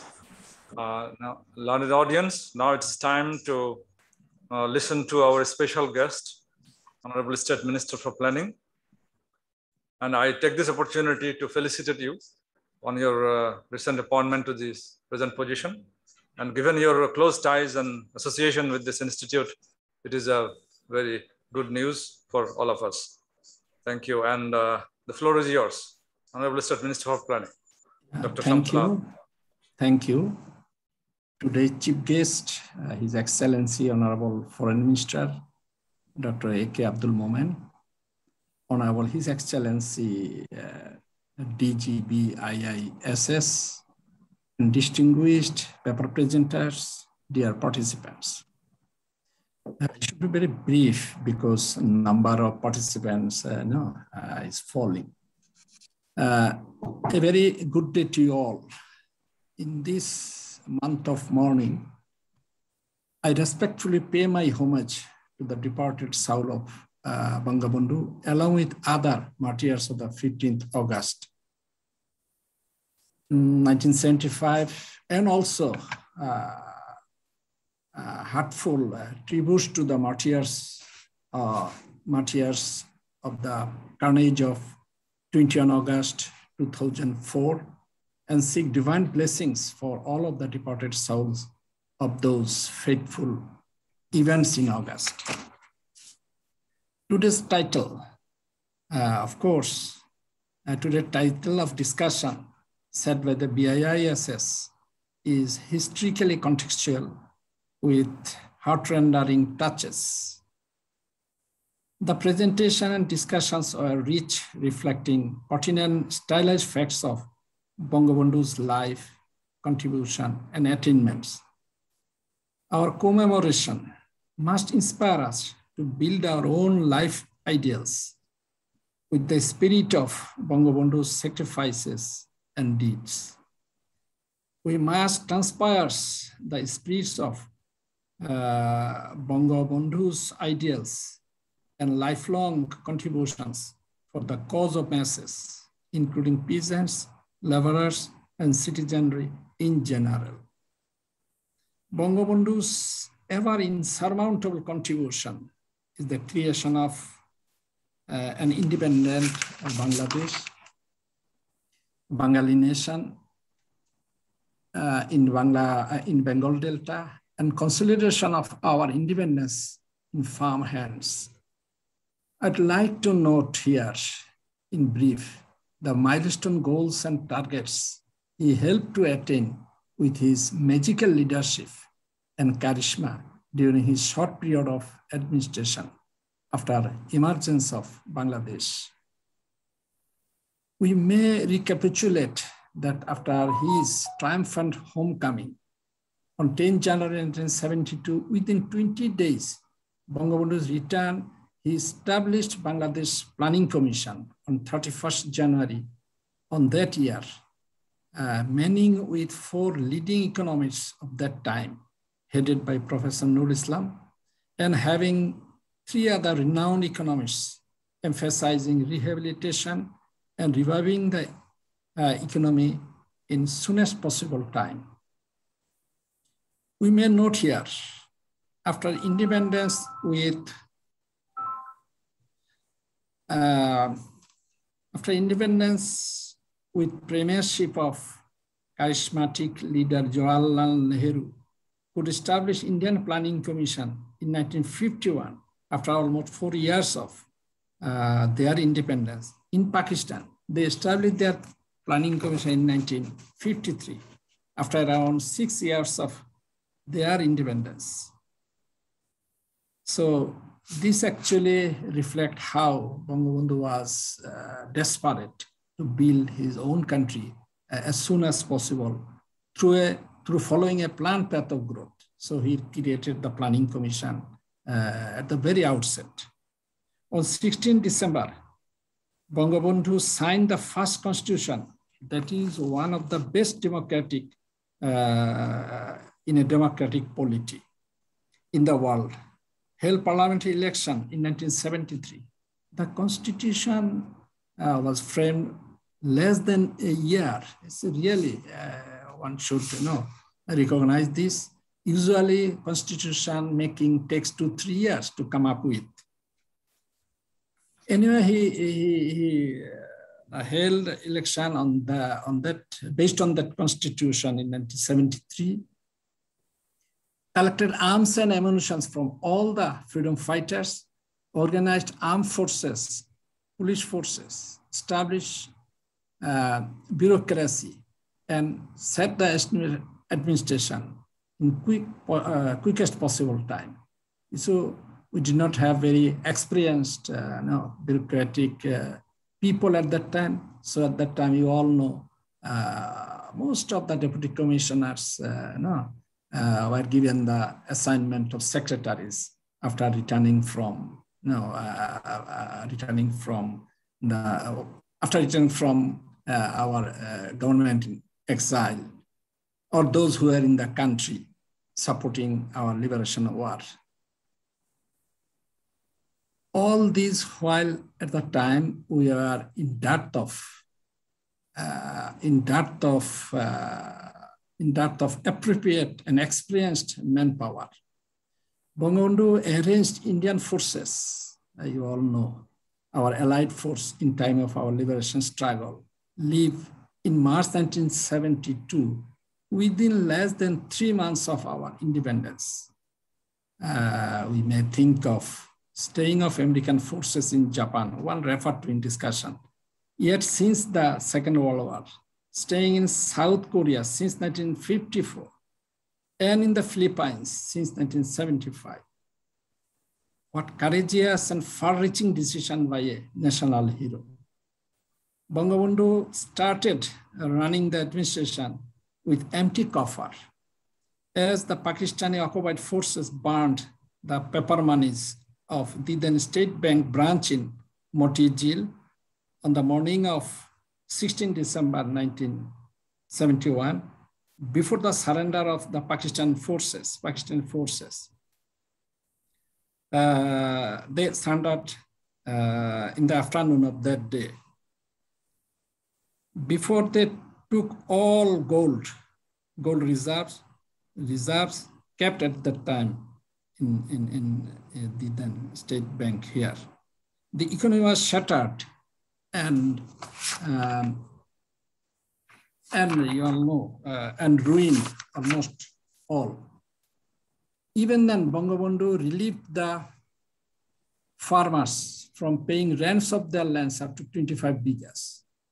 We drew all certificate cases for non-payment of rents Bangabandhu had to nationalize jute and textile mills and other mills, factories left by Pakistani owners and had to look for appropriate management, uh, managerial manpower.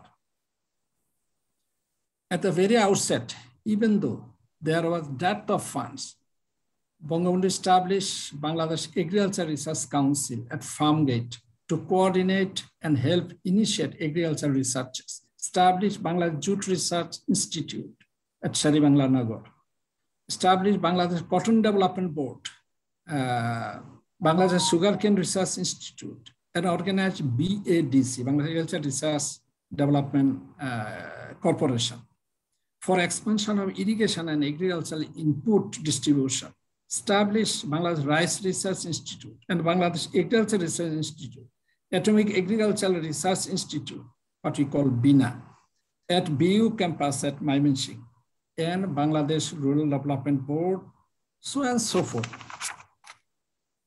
Agricultural development and diversification we have today achieved uh, tremendous uh, progress under the leadership of uh, Honorable Prime Minister Sheikh Hasina. The foundation of the institutional foundation, I should say, institutional foundation of this progress and development was set by uh, Sheikh Mujibur Rahman during his tenure. Of the first budget of Bangladesh, with allocation of 776 crore taka, the development budget was of 500 crore taka. Of that, 101 crore taka was allocated for agricultural sectors. For attaining food autarky and reducing hunger and poverty, Bangabandhu allocated the highest amount in development budget for agriculture, and this ignited green revolution in Bangladesh during the early years of the 70s. First five-year plan of Bangladesh was prepared in one year, uh, in one year and started its implementation on 1 July 1970-74 fiscal year, emphasizing rehabilitation and job creation in the country.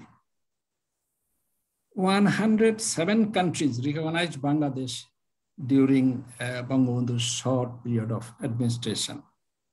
And Bangabandhu at that time uh, nationalized, I think, 24,000 primary schools and established first education commission headed by Kudrati Khuda.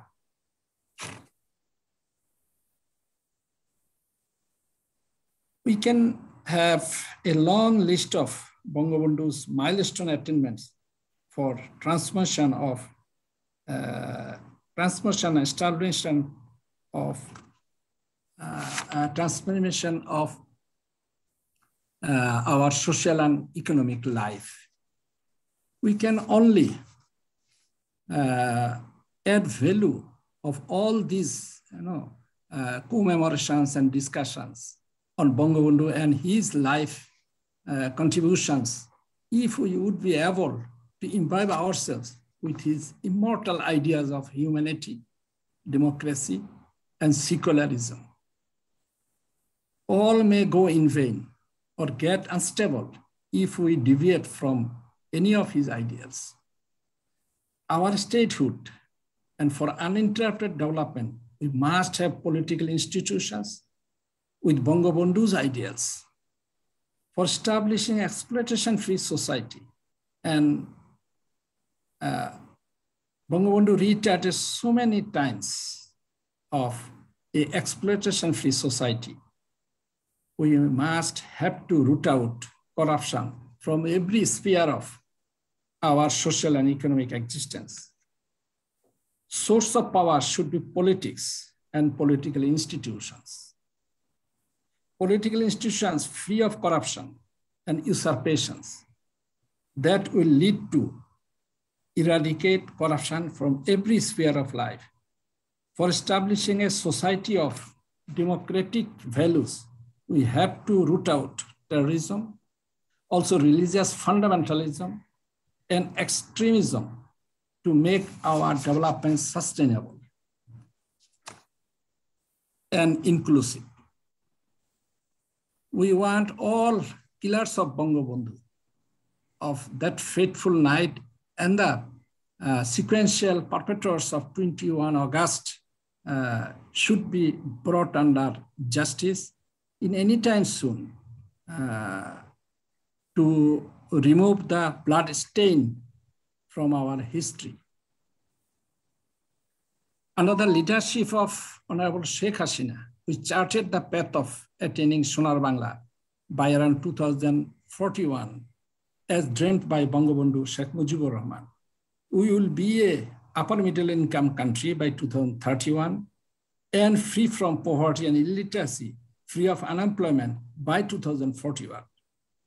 We are on course of implementation of the eighth five-year plan, attaining 8.51% GDP growth by 2024-2005. During the seventh five-year plan period, the nation attained two milestone targets, becoming a lower middle income country and twice qualified the criteria of becoming a developing country, leaving the stigma of least developed country.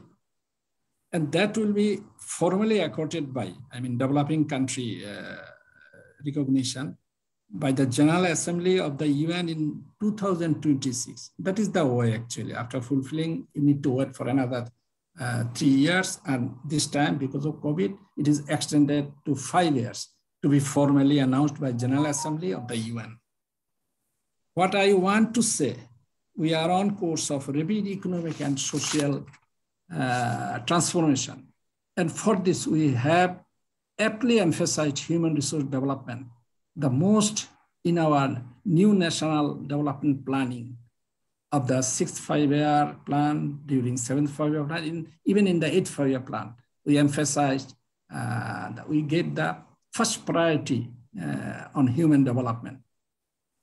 For this to materialize, education system must cater to the need of the hour, embracing technological advancement in course content, enriching moral and democratic and nationalism.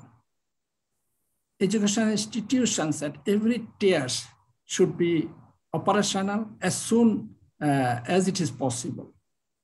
We have already lost one year and a half, a big generation loss, which we need to recover. Our respected teaching community should play a uh, dedicated and non-partisan role in this regard, who are golden soldiers in our nation building. I should stop here uh, because I initially I said I should be brief. I humbly thank BIISS for inviting me in this important webinar, the luminary paper presenters, uh, two our, of our iconic uh, figures.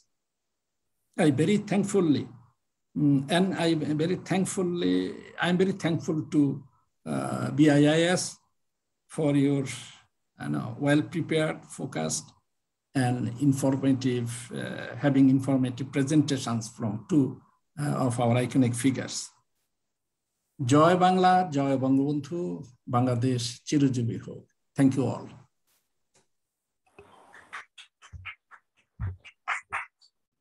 Thank you very much, uh, Dr. Shamsul Alam, uh, Honorable State Minister for Planning, for your very useful remarks, especially highlighting uh, the achievements of Bangabandhu in a very short period of time after the liberation of Bangladesh. Dear participants, uh, the Institute has published a, a book, just published a book on, on Bangabandhu, and uh, it uh, will be the responsibility of Dr. Mahfuz Haq, director of BIISS, to introduce the book to you. Dr. Mahfuz Kabir, you have the floor.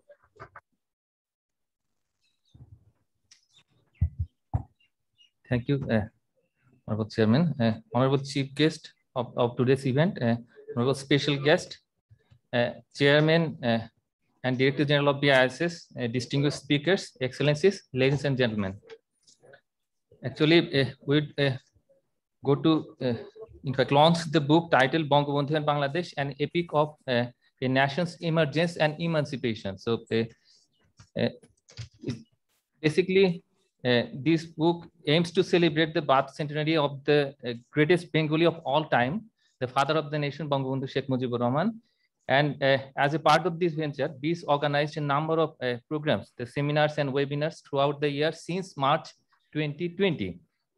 And the events aim to revisit Bangabandhu's thoughts, ideas, vision, and also reaffirm Bangladesh's commitment to addressing the contemporary world issues based on uh, his ideas. And this book is, uh, is a compilation of revised and edi edited versions of the papers presented and uh, deliberations made, in these events.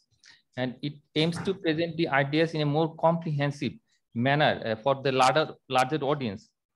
And in order to present these ideas in a more comprehensive manner uh, for the larger audience, we had a difficult choice because a lot of papers came, just about 19 uh, papers and we had to cluster the papers into some dot themes.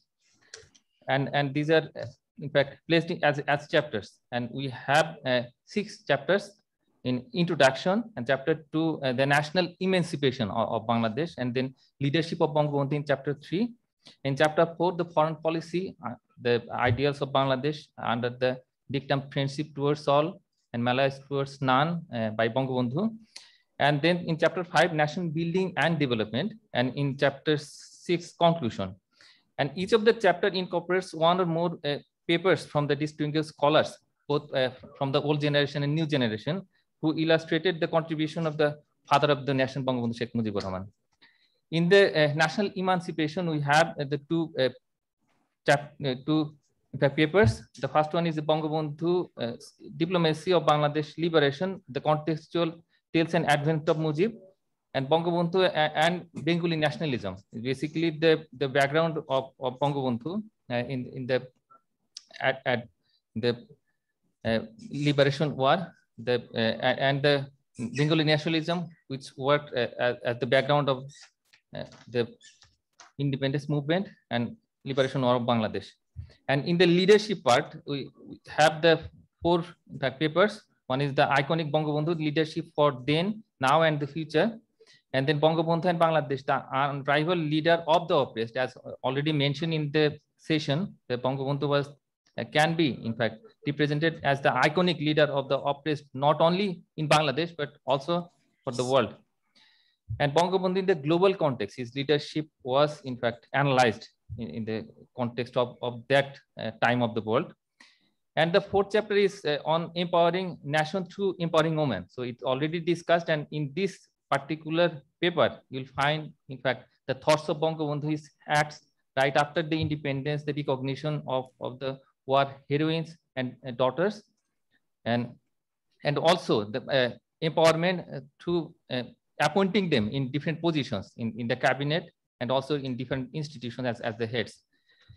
And also, uh, his recognition of women as important, in fact, participants and workers in, in, in the uh, first five-year plan. And in the foreign policy, there are uh, uh, five papers. One is Bangabandhu, the architect of the Bangladesh foreign policy, Bangabandhu and the roots of uh, Bangladesh foreign policy. And then balancing divergent uh, global powers. You all understand that the, that time was very turbulent and there are groups and, and polarization in the world and one was led by the US and, the other was led by the USSR. So in that difficult period, Bangabandhu had a kind of neutral position and joining the NAM. And these all are in fact covered in this uh, chapter. And then nation building and development. So, and uh, in that part, there are uh, four, in, in, fact, six papers. One is Bangla Bangabandhu's economic philosophy, a brief review based on the unfinished, unfinished memoir and then post-war reconstruction, the huge effort was taken by Bangabandhu and uh, his administration to reconstruct uh, the war-torn economy. And the transformation of economic policies and outcomes since Bangabandhu's time. And uh, since early 1970s, a lot of, in fact, initiatives, the reg regulations and in the promulgation of laws. So these are initiated and uh, the, in fact, book this particular chapter, in fact, try to analyze this and how these, in fact, issues, the, the in fact, initiative of, of Bangabandhu, in fact, influence the subsequent developments of Bangladesh. And then from aid dependency to trade unification, so you all know that at that time the economy was in fact war torn and the uh, situation was not that rosy. And uh, from that uh, period, a lot of initiative was taken by Bangabandhu's administration, and then it was followed in the subsequent period. And Bangladesh, in fact, transformed from aid dependent to trade dependent country. And then development trajectories and imperatives for Vision 2040 on. That time, uh, Bangabandhu had a mission to liberate the country, to in fact, to make the people free from poverty, inequality, and he had the mission to establish an egalitarian society. And now we have a vision, the Vision 2041, which was placed by the uh, Honorable Prime Minister Sheikh Hasina. So, and, and this was discussed in, in this particular chapter. And this book is basically collates and contextualizes his ideology, political development vision, and, and teachings uh, throughout the past, present, and future. Basically, we, in fact, uh, try to place it to the new generation of researchers, the scholars and students, so that they understand Bangabandhu, they understand Bangladesh. And that was our, in fact, endeavor. Thank you very much. Thank you, uh, Dr. Mahfuz Kabir. Uh, may I now request the Honorable Foreign Minister to kindly formally launch the book on Bangabandhu.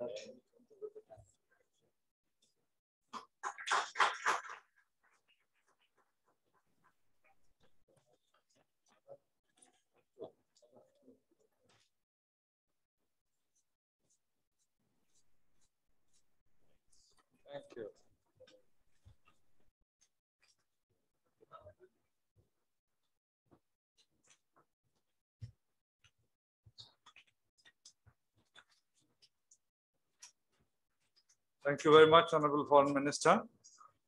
Now it's time to listen to the Honorable Foreign Minister, His Excellency Dr. A.K. Abdul Momen MP.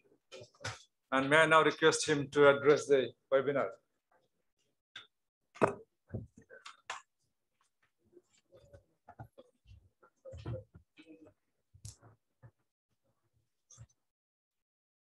Bismillah ar-Rahman rahim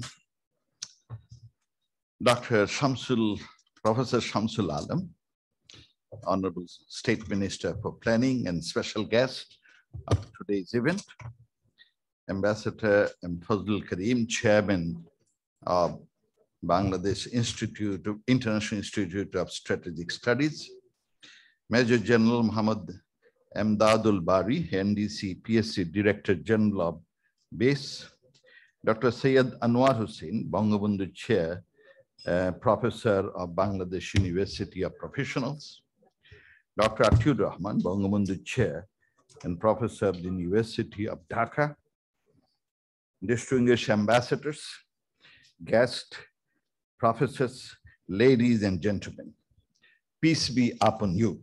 Assalamu alaikum. I express my profound thanks to Bangladesh Institute of International Strategic Studies for inviting me at today's hybrid seminar titled Bangabandhu and Bangladesh, an epic of nations' emergence and emancipation. I'm indeed privileged and humbled to join you all at this uh, August gathering. At the outset, uh, I would like to pay my deep respect to the father of the nation, Bangabandhu Sheikh Mujibur Rahman, whose charismatic leadership and long struggle helped us achieve our long cherished independence. In this month of mourning, I do recall with heavy heart the tragic event of 15th August 1975 and pay my deep, deepest homage to the memories of those who were brutally killed along with the father of the nation on this fate, on that fateful night. Distinguished guests, uh, the month of August is the month of mourning for us. Uh, today's uh, discussion, from today's discussion, we truly learn a lot about how an independent nation state named Bangladesh emerged from the unwavering and undaunted leadership of the father of the nation, Bangabandhu Sheikh Mujibur Rahman. It is today's fascinating, fascinating for me to listen to the lessons of history from my friend uh, and classmate, Professor Syed Anwar Hussain, who is one of the two presenters at today's seminar. He depicted the role of Bangabandhu in cementing the Bengali nationhood and spearheaded the independence of Bangladesh. We have also heard from my young friend, former governor Bangladesh Bank, Dr. Atiur Rahman, who, uh, who at, at, uh, dealt at length on the lifelong struggle and far-sighted leadership of Bangabandhu in emancipating the Bengali nation. Today, we have also listened to our special guest, uh, Professor, State Minister, Professor Dr. Shamsul Alam, who has shared with us how Bangabandhu spearheaded the movement of political freedom and economic emancipation for the Bengalis. I am deeply pleased to learn the valuable thoughts and insight and ideas of the distinguished speakers. I'm also happy to take part in the inauguration of the book with the same title in this seminar. It is heartening to see that, that, that think tanks like BIISS has been encouraging research on the war of independence and the father of the nation. May I suggest BIISS to publish write-ups on Prime Minister Sheikh Hasina's achievement in resolving difficult issues with her neighbors, both India and Myanmar, to dialogue and discussion, and of course, legal processes without shooting a single bullet, proving her diplomatic maturity and achieving goals. Ladies and gentlemen, the title of today's seminar is very special and thus praiseworthy. There must not be any confusion on the fact that Bangladesh, Bengali nationhood, and Bangabandhu are inseparable. To illustrate, let me explain how the concept of Bengali nationhood got cemented under the able and unflinching leadership of Bangabandhu. The people of Didanish Pakistan, present-day Bangladesh, long cherished an independent land to be politically democratic, culturally secular, and pluralistic, and economically, economically egalitarian. They long for such leadership capable of freeing, the, freeing them from the shackles of century-old subjugation and tyranny. The leader of the common people, Bangabandhu, could easily sense the pulse of the masses. In 1947, when India was divided into two dominions based on religion, and East Pakistan was born, Bangabandhu dream of a secular, egalitarian, and democratic government system for the people of Didanish Pakistan. Later, with the language movement from 1947 to 52, Bangabandhu Sheikh Mujib was, was proved correct as the Bengali nationalism on the issue of mother tongue clearly separated the people of Didanish Pakistan from the West Pakistan the two wings of Pakistan separated by around 1200 miles apart. During 24 years living together with united Pakistan, Bangabandhu not only realized the perpetuation, of disparity and exploitation of East Pakistan by its Pakistani leadership.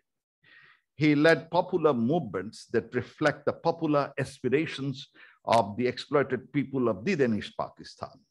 For example, his historic six-point demands the Magna Carta of Bangladesh. The points were laid, were lucid, easy to comprehend, and most importantly, were true reflection the feelings of Bengalis. His, uh, his party's uh, book titled Bangladesh Shoshan Kano, these are, these are very clearly stated the reason for disastrous situation in Lead East Pakistan.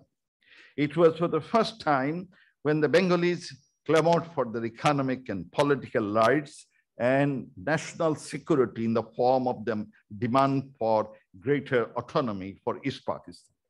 While the cementing the sense of Bengali nationhood among the people of then East Pakistan, Bangabandhu, as a part of his long-term vision, strive here to take his people gradually and systematically to the ultimate path of emancipation.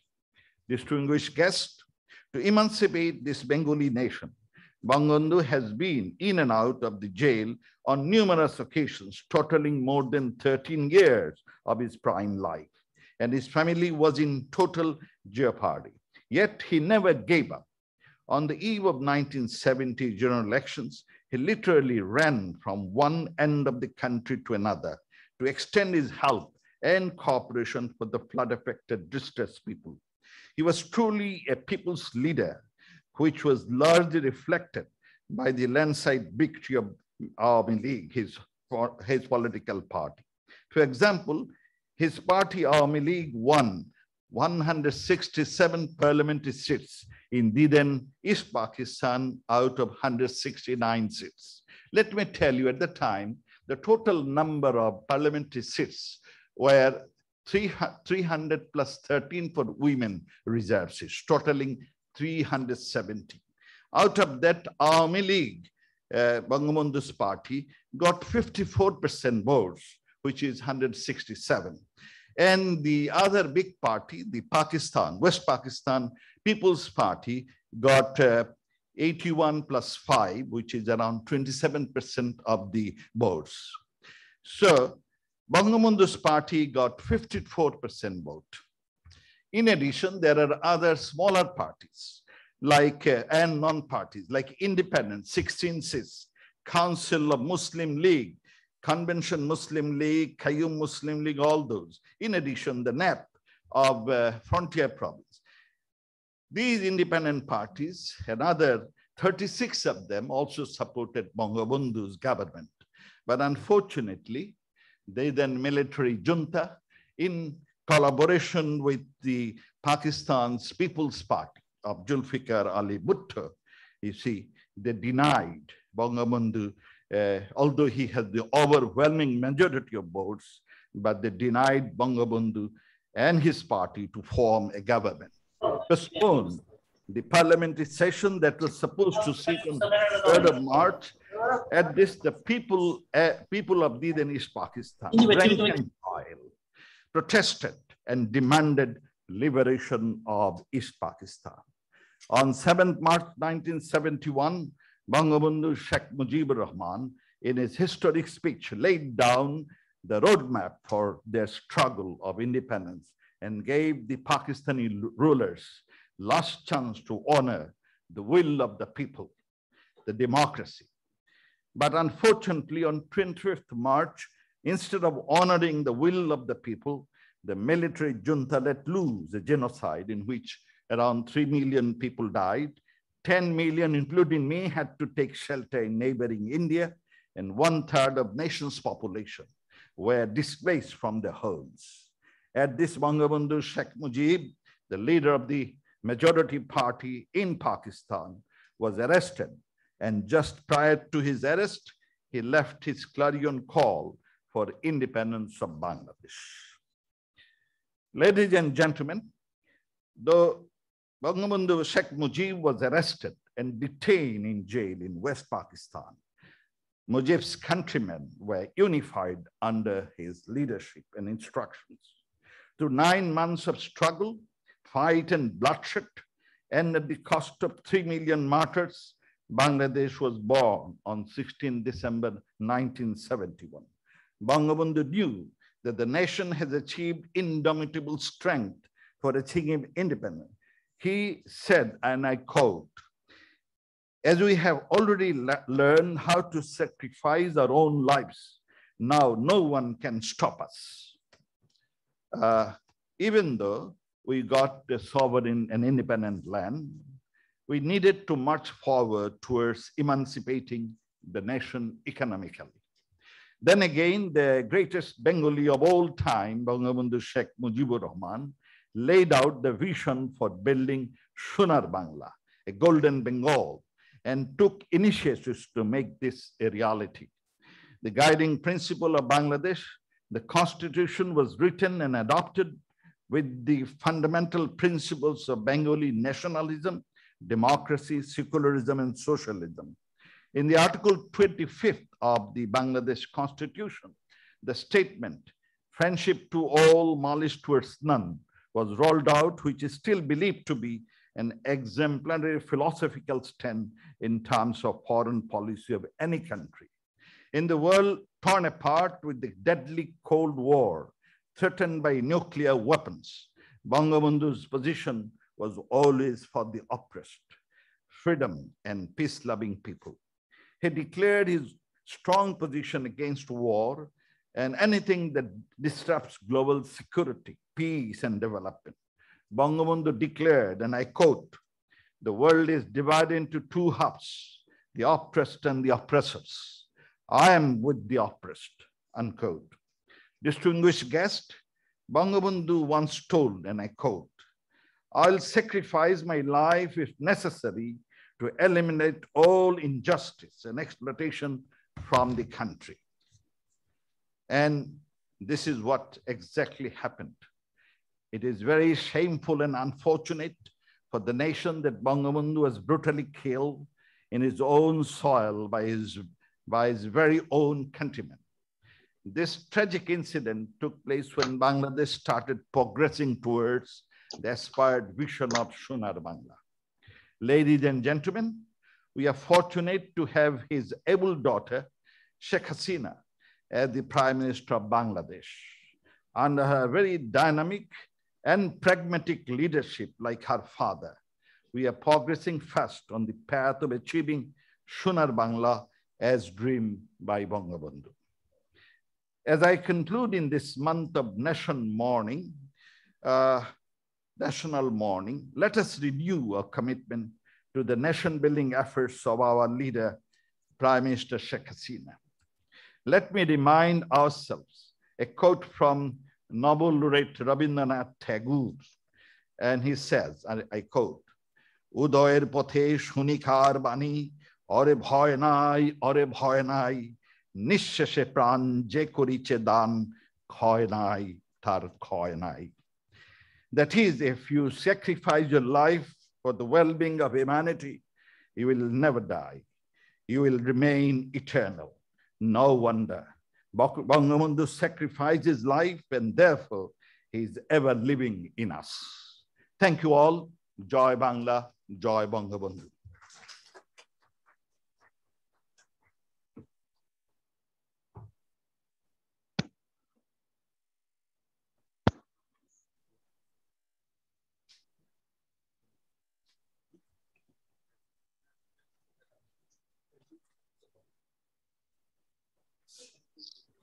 Thank you very much, uh, Honorable Foreign Minister, for your very inspiring and illuminating speech. Uh, ladies and gentlemen, we indeed had a very stimulating discussion and dialogue on the life and contributions of the father of the nation, Bangabandhu Sheikh Mujibur Rahman. As the distinguished speakers and guests have highlighted, I feel that Bangabandhu was successful in his political life for a number of reasons. And firstly, he was from the grassroots, so he could feel the pulse of the nation very well. In the second place, he was always in touch with the masses. Whenever he could manage time, he would travel to the remotest areas of the country to see the condition of the people firsthand. In the third place, his self-sacrifice and devotion to the country and its people are well documented. Fourthly, his bravery and uncompromising attitude to uphold justice and fair play. And lastly, he had a plan and a vision to achieve an exploitation-free and prosperous Bangladesh. Bangabandhu loved his country and the people too much, as he once commented to an interviewer. And I quote, My greatest strength is my love for my people, and my greatest weakness is that I love them too much. And I unquote. Bangabandhu's greatest success was the establishment of an independent country.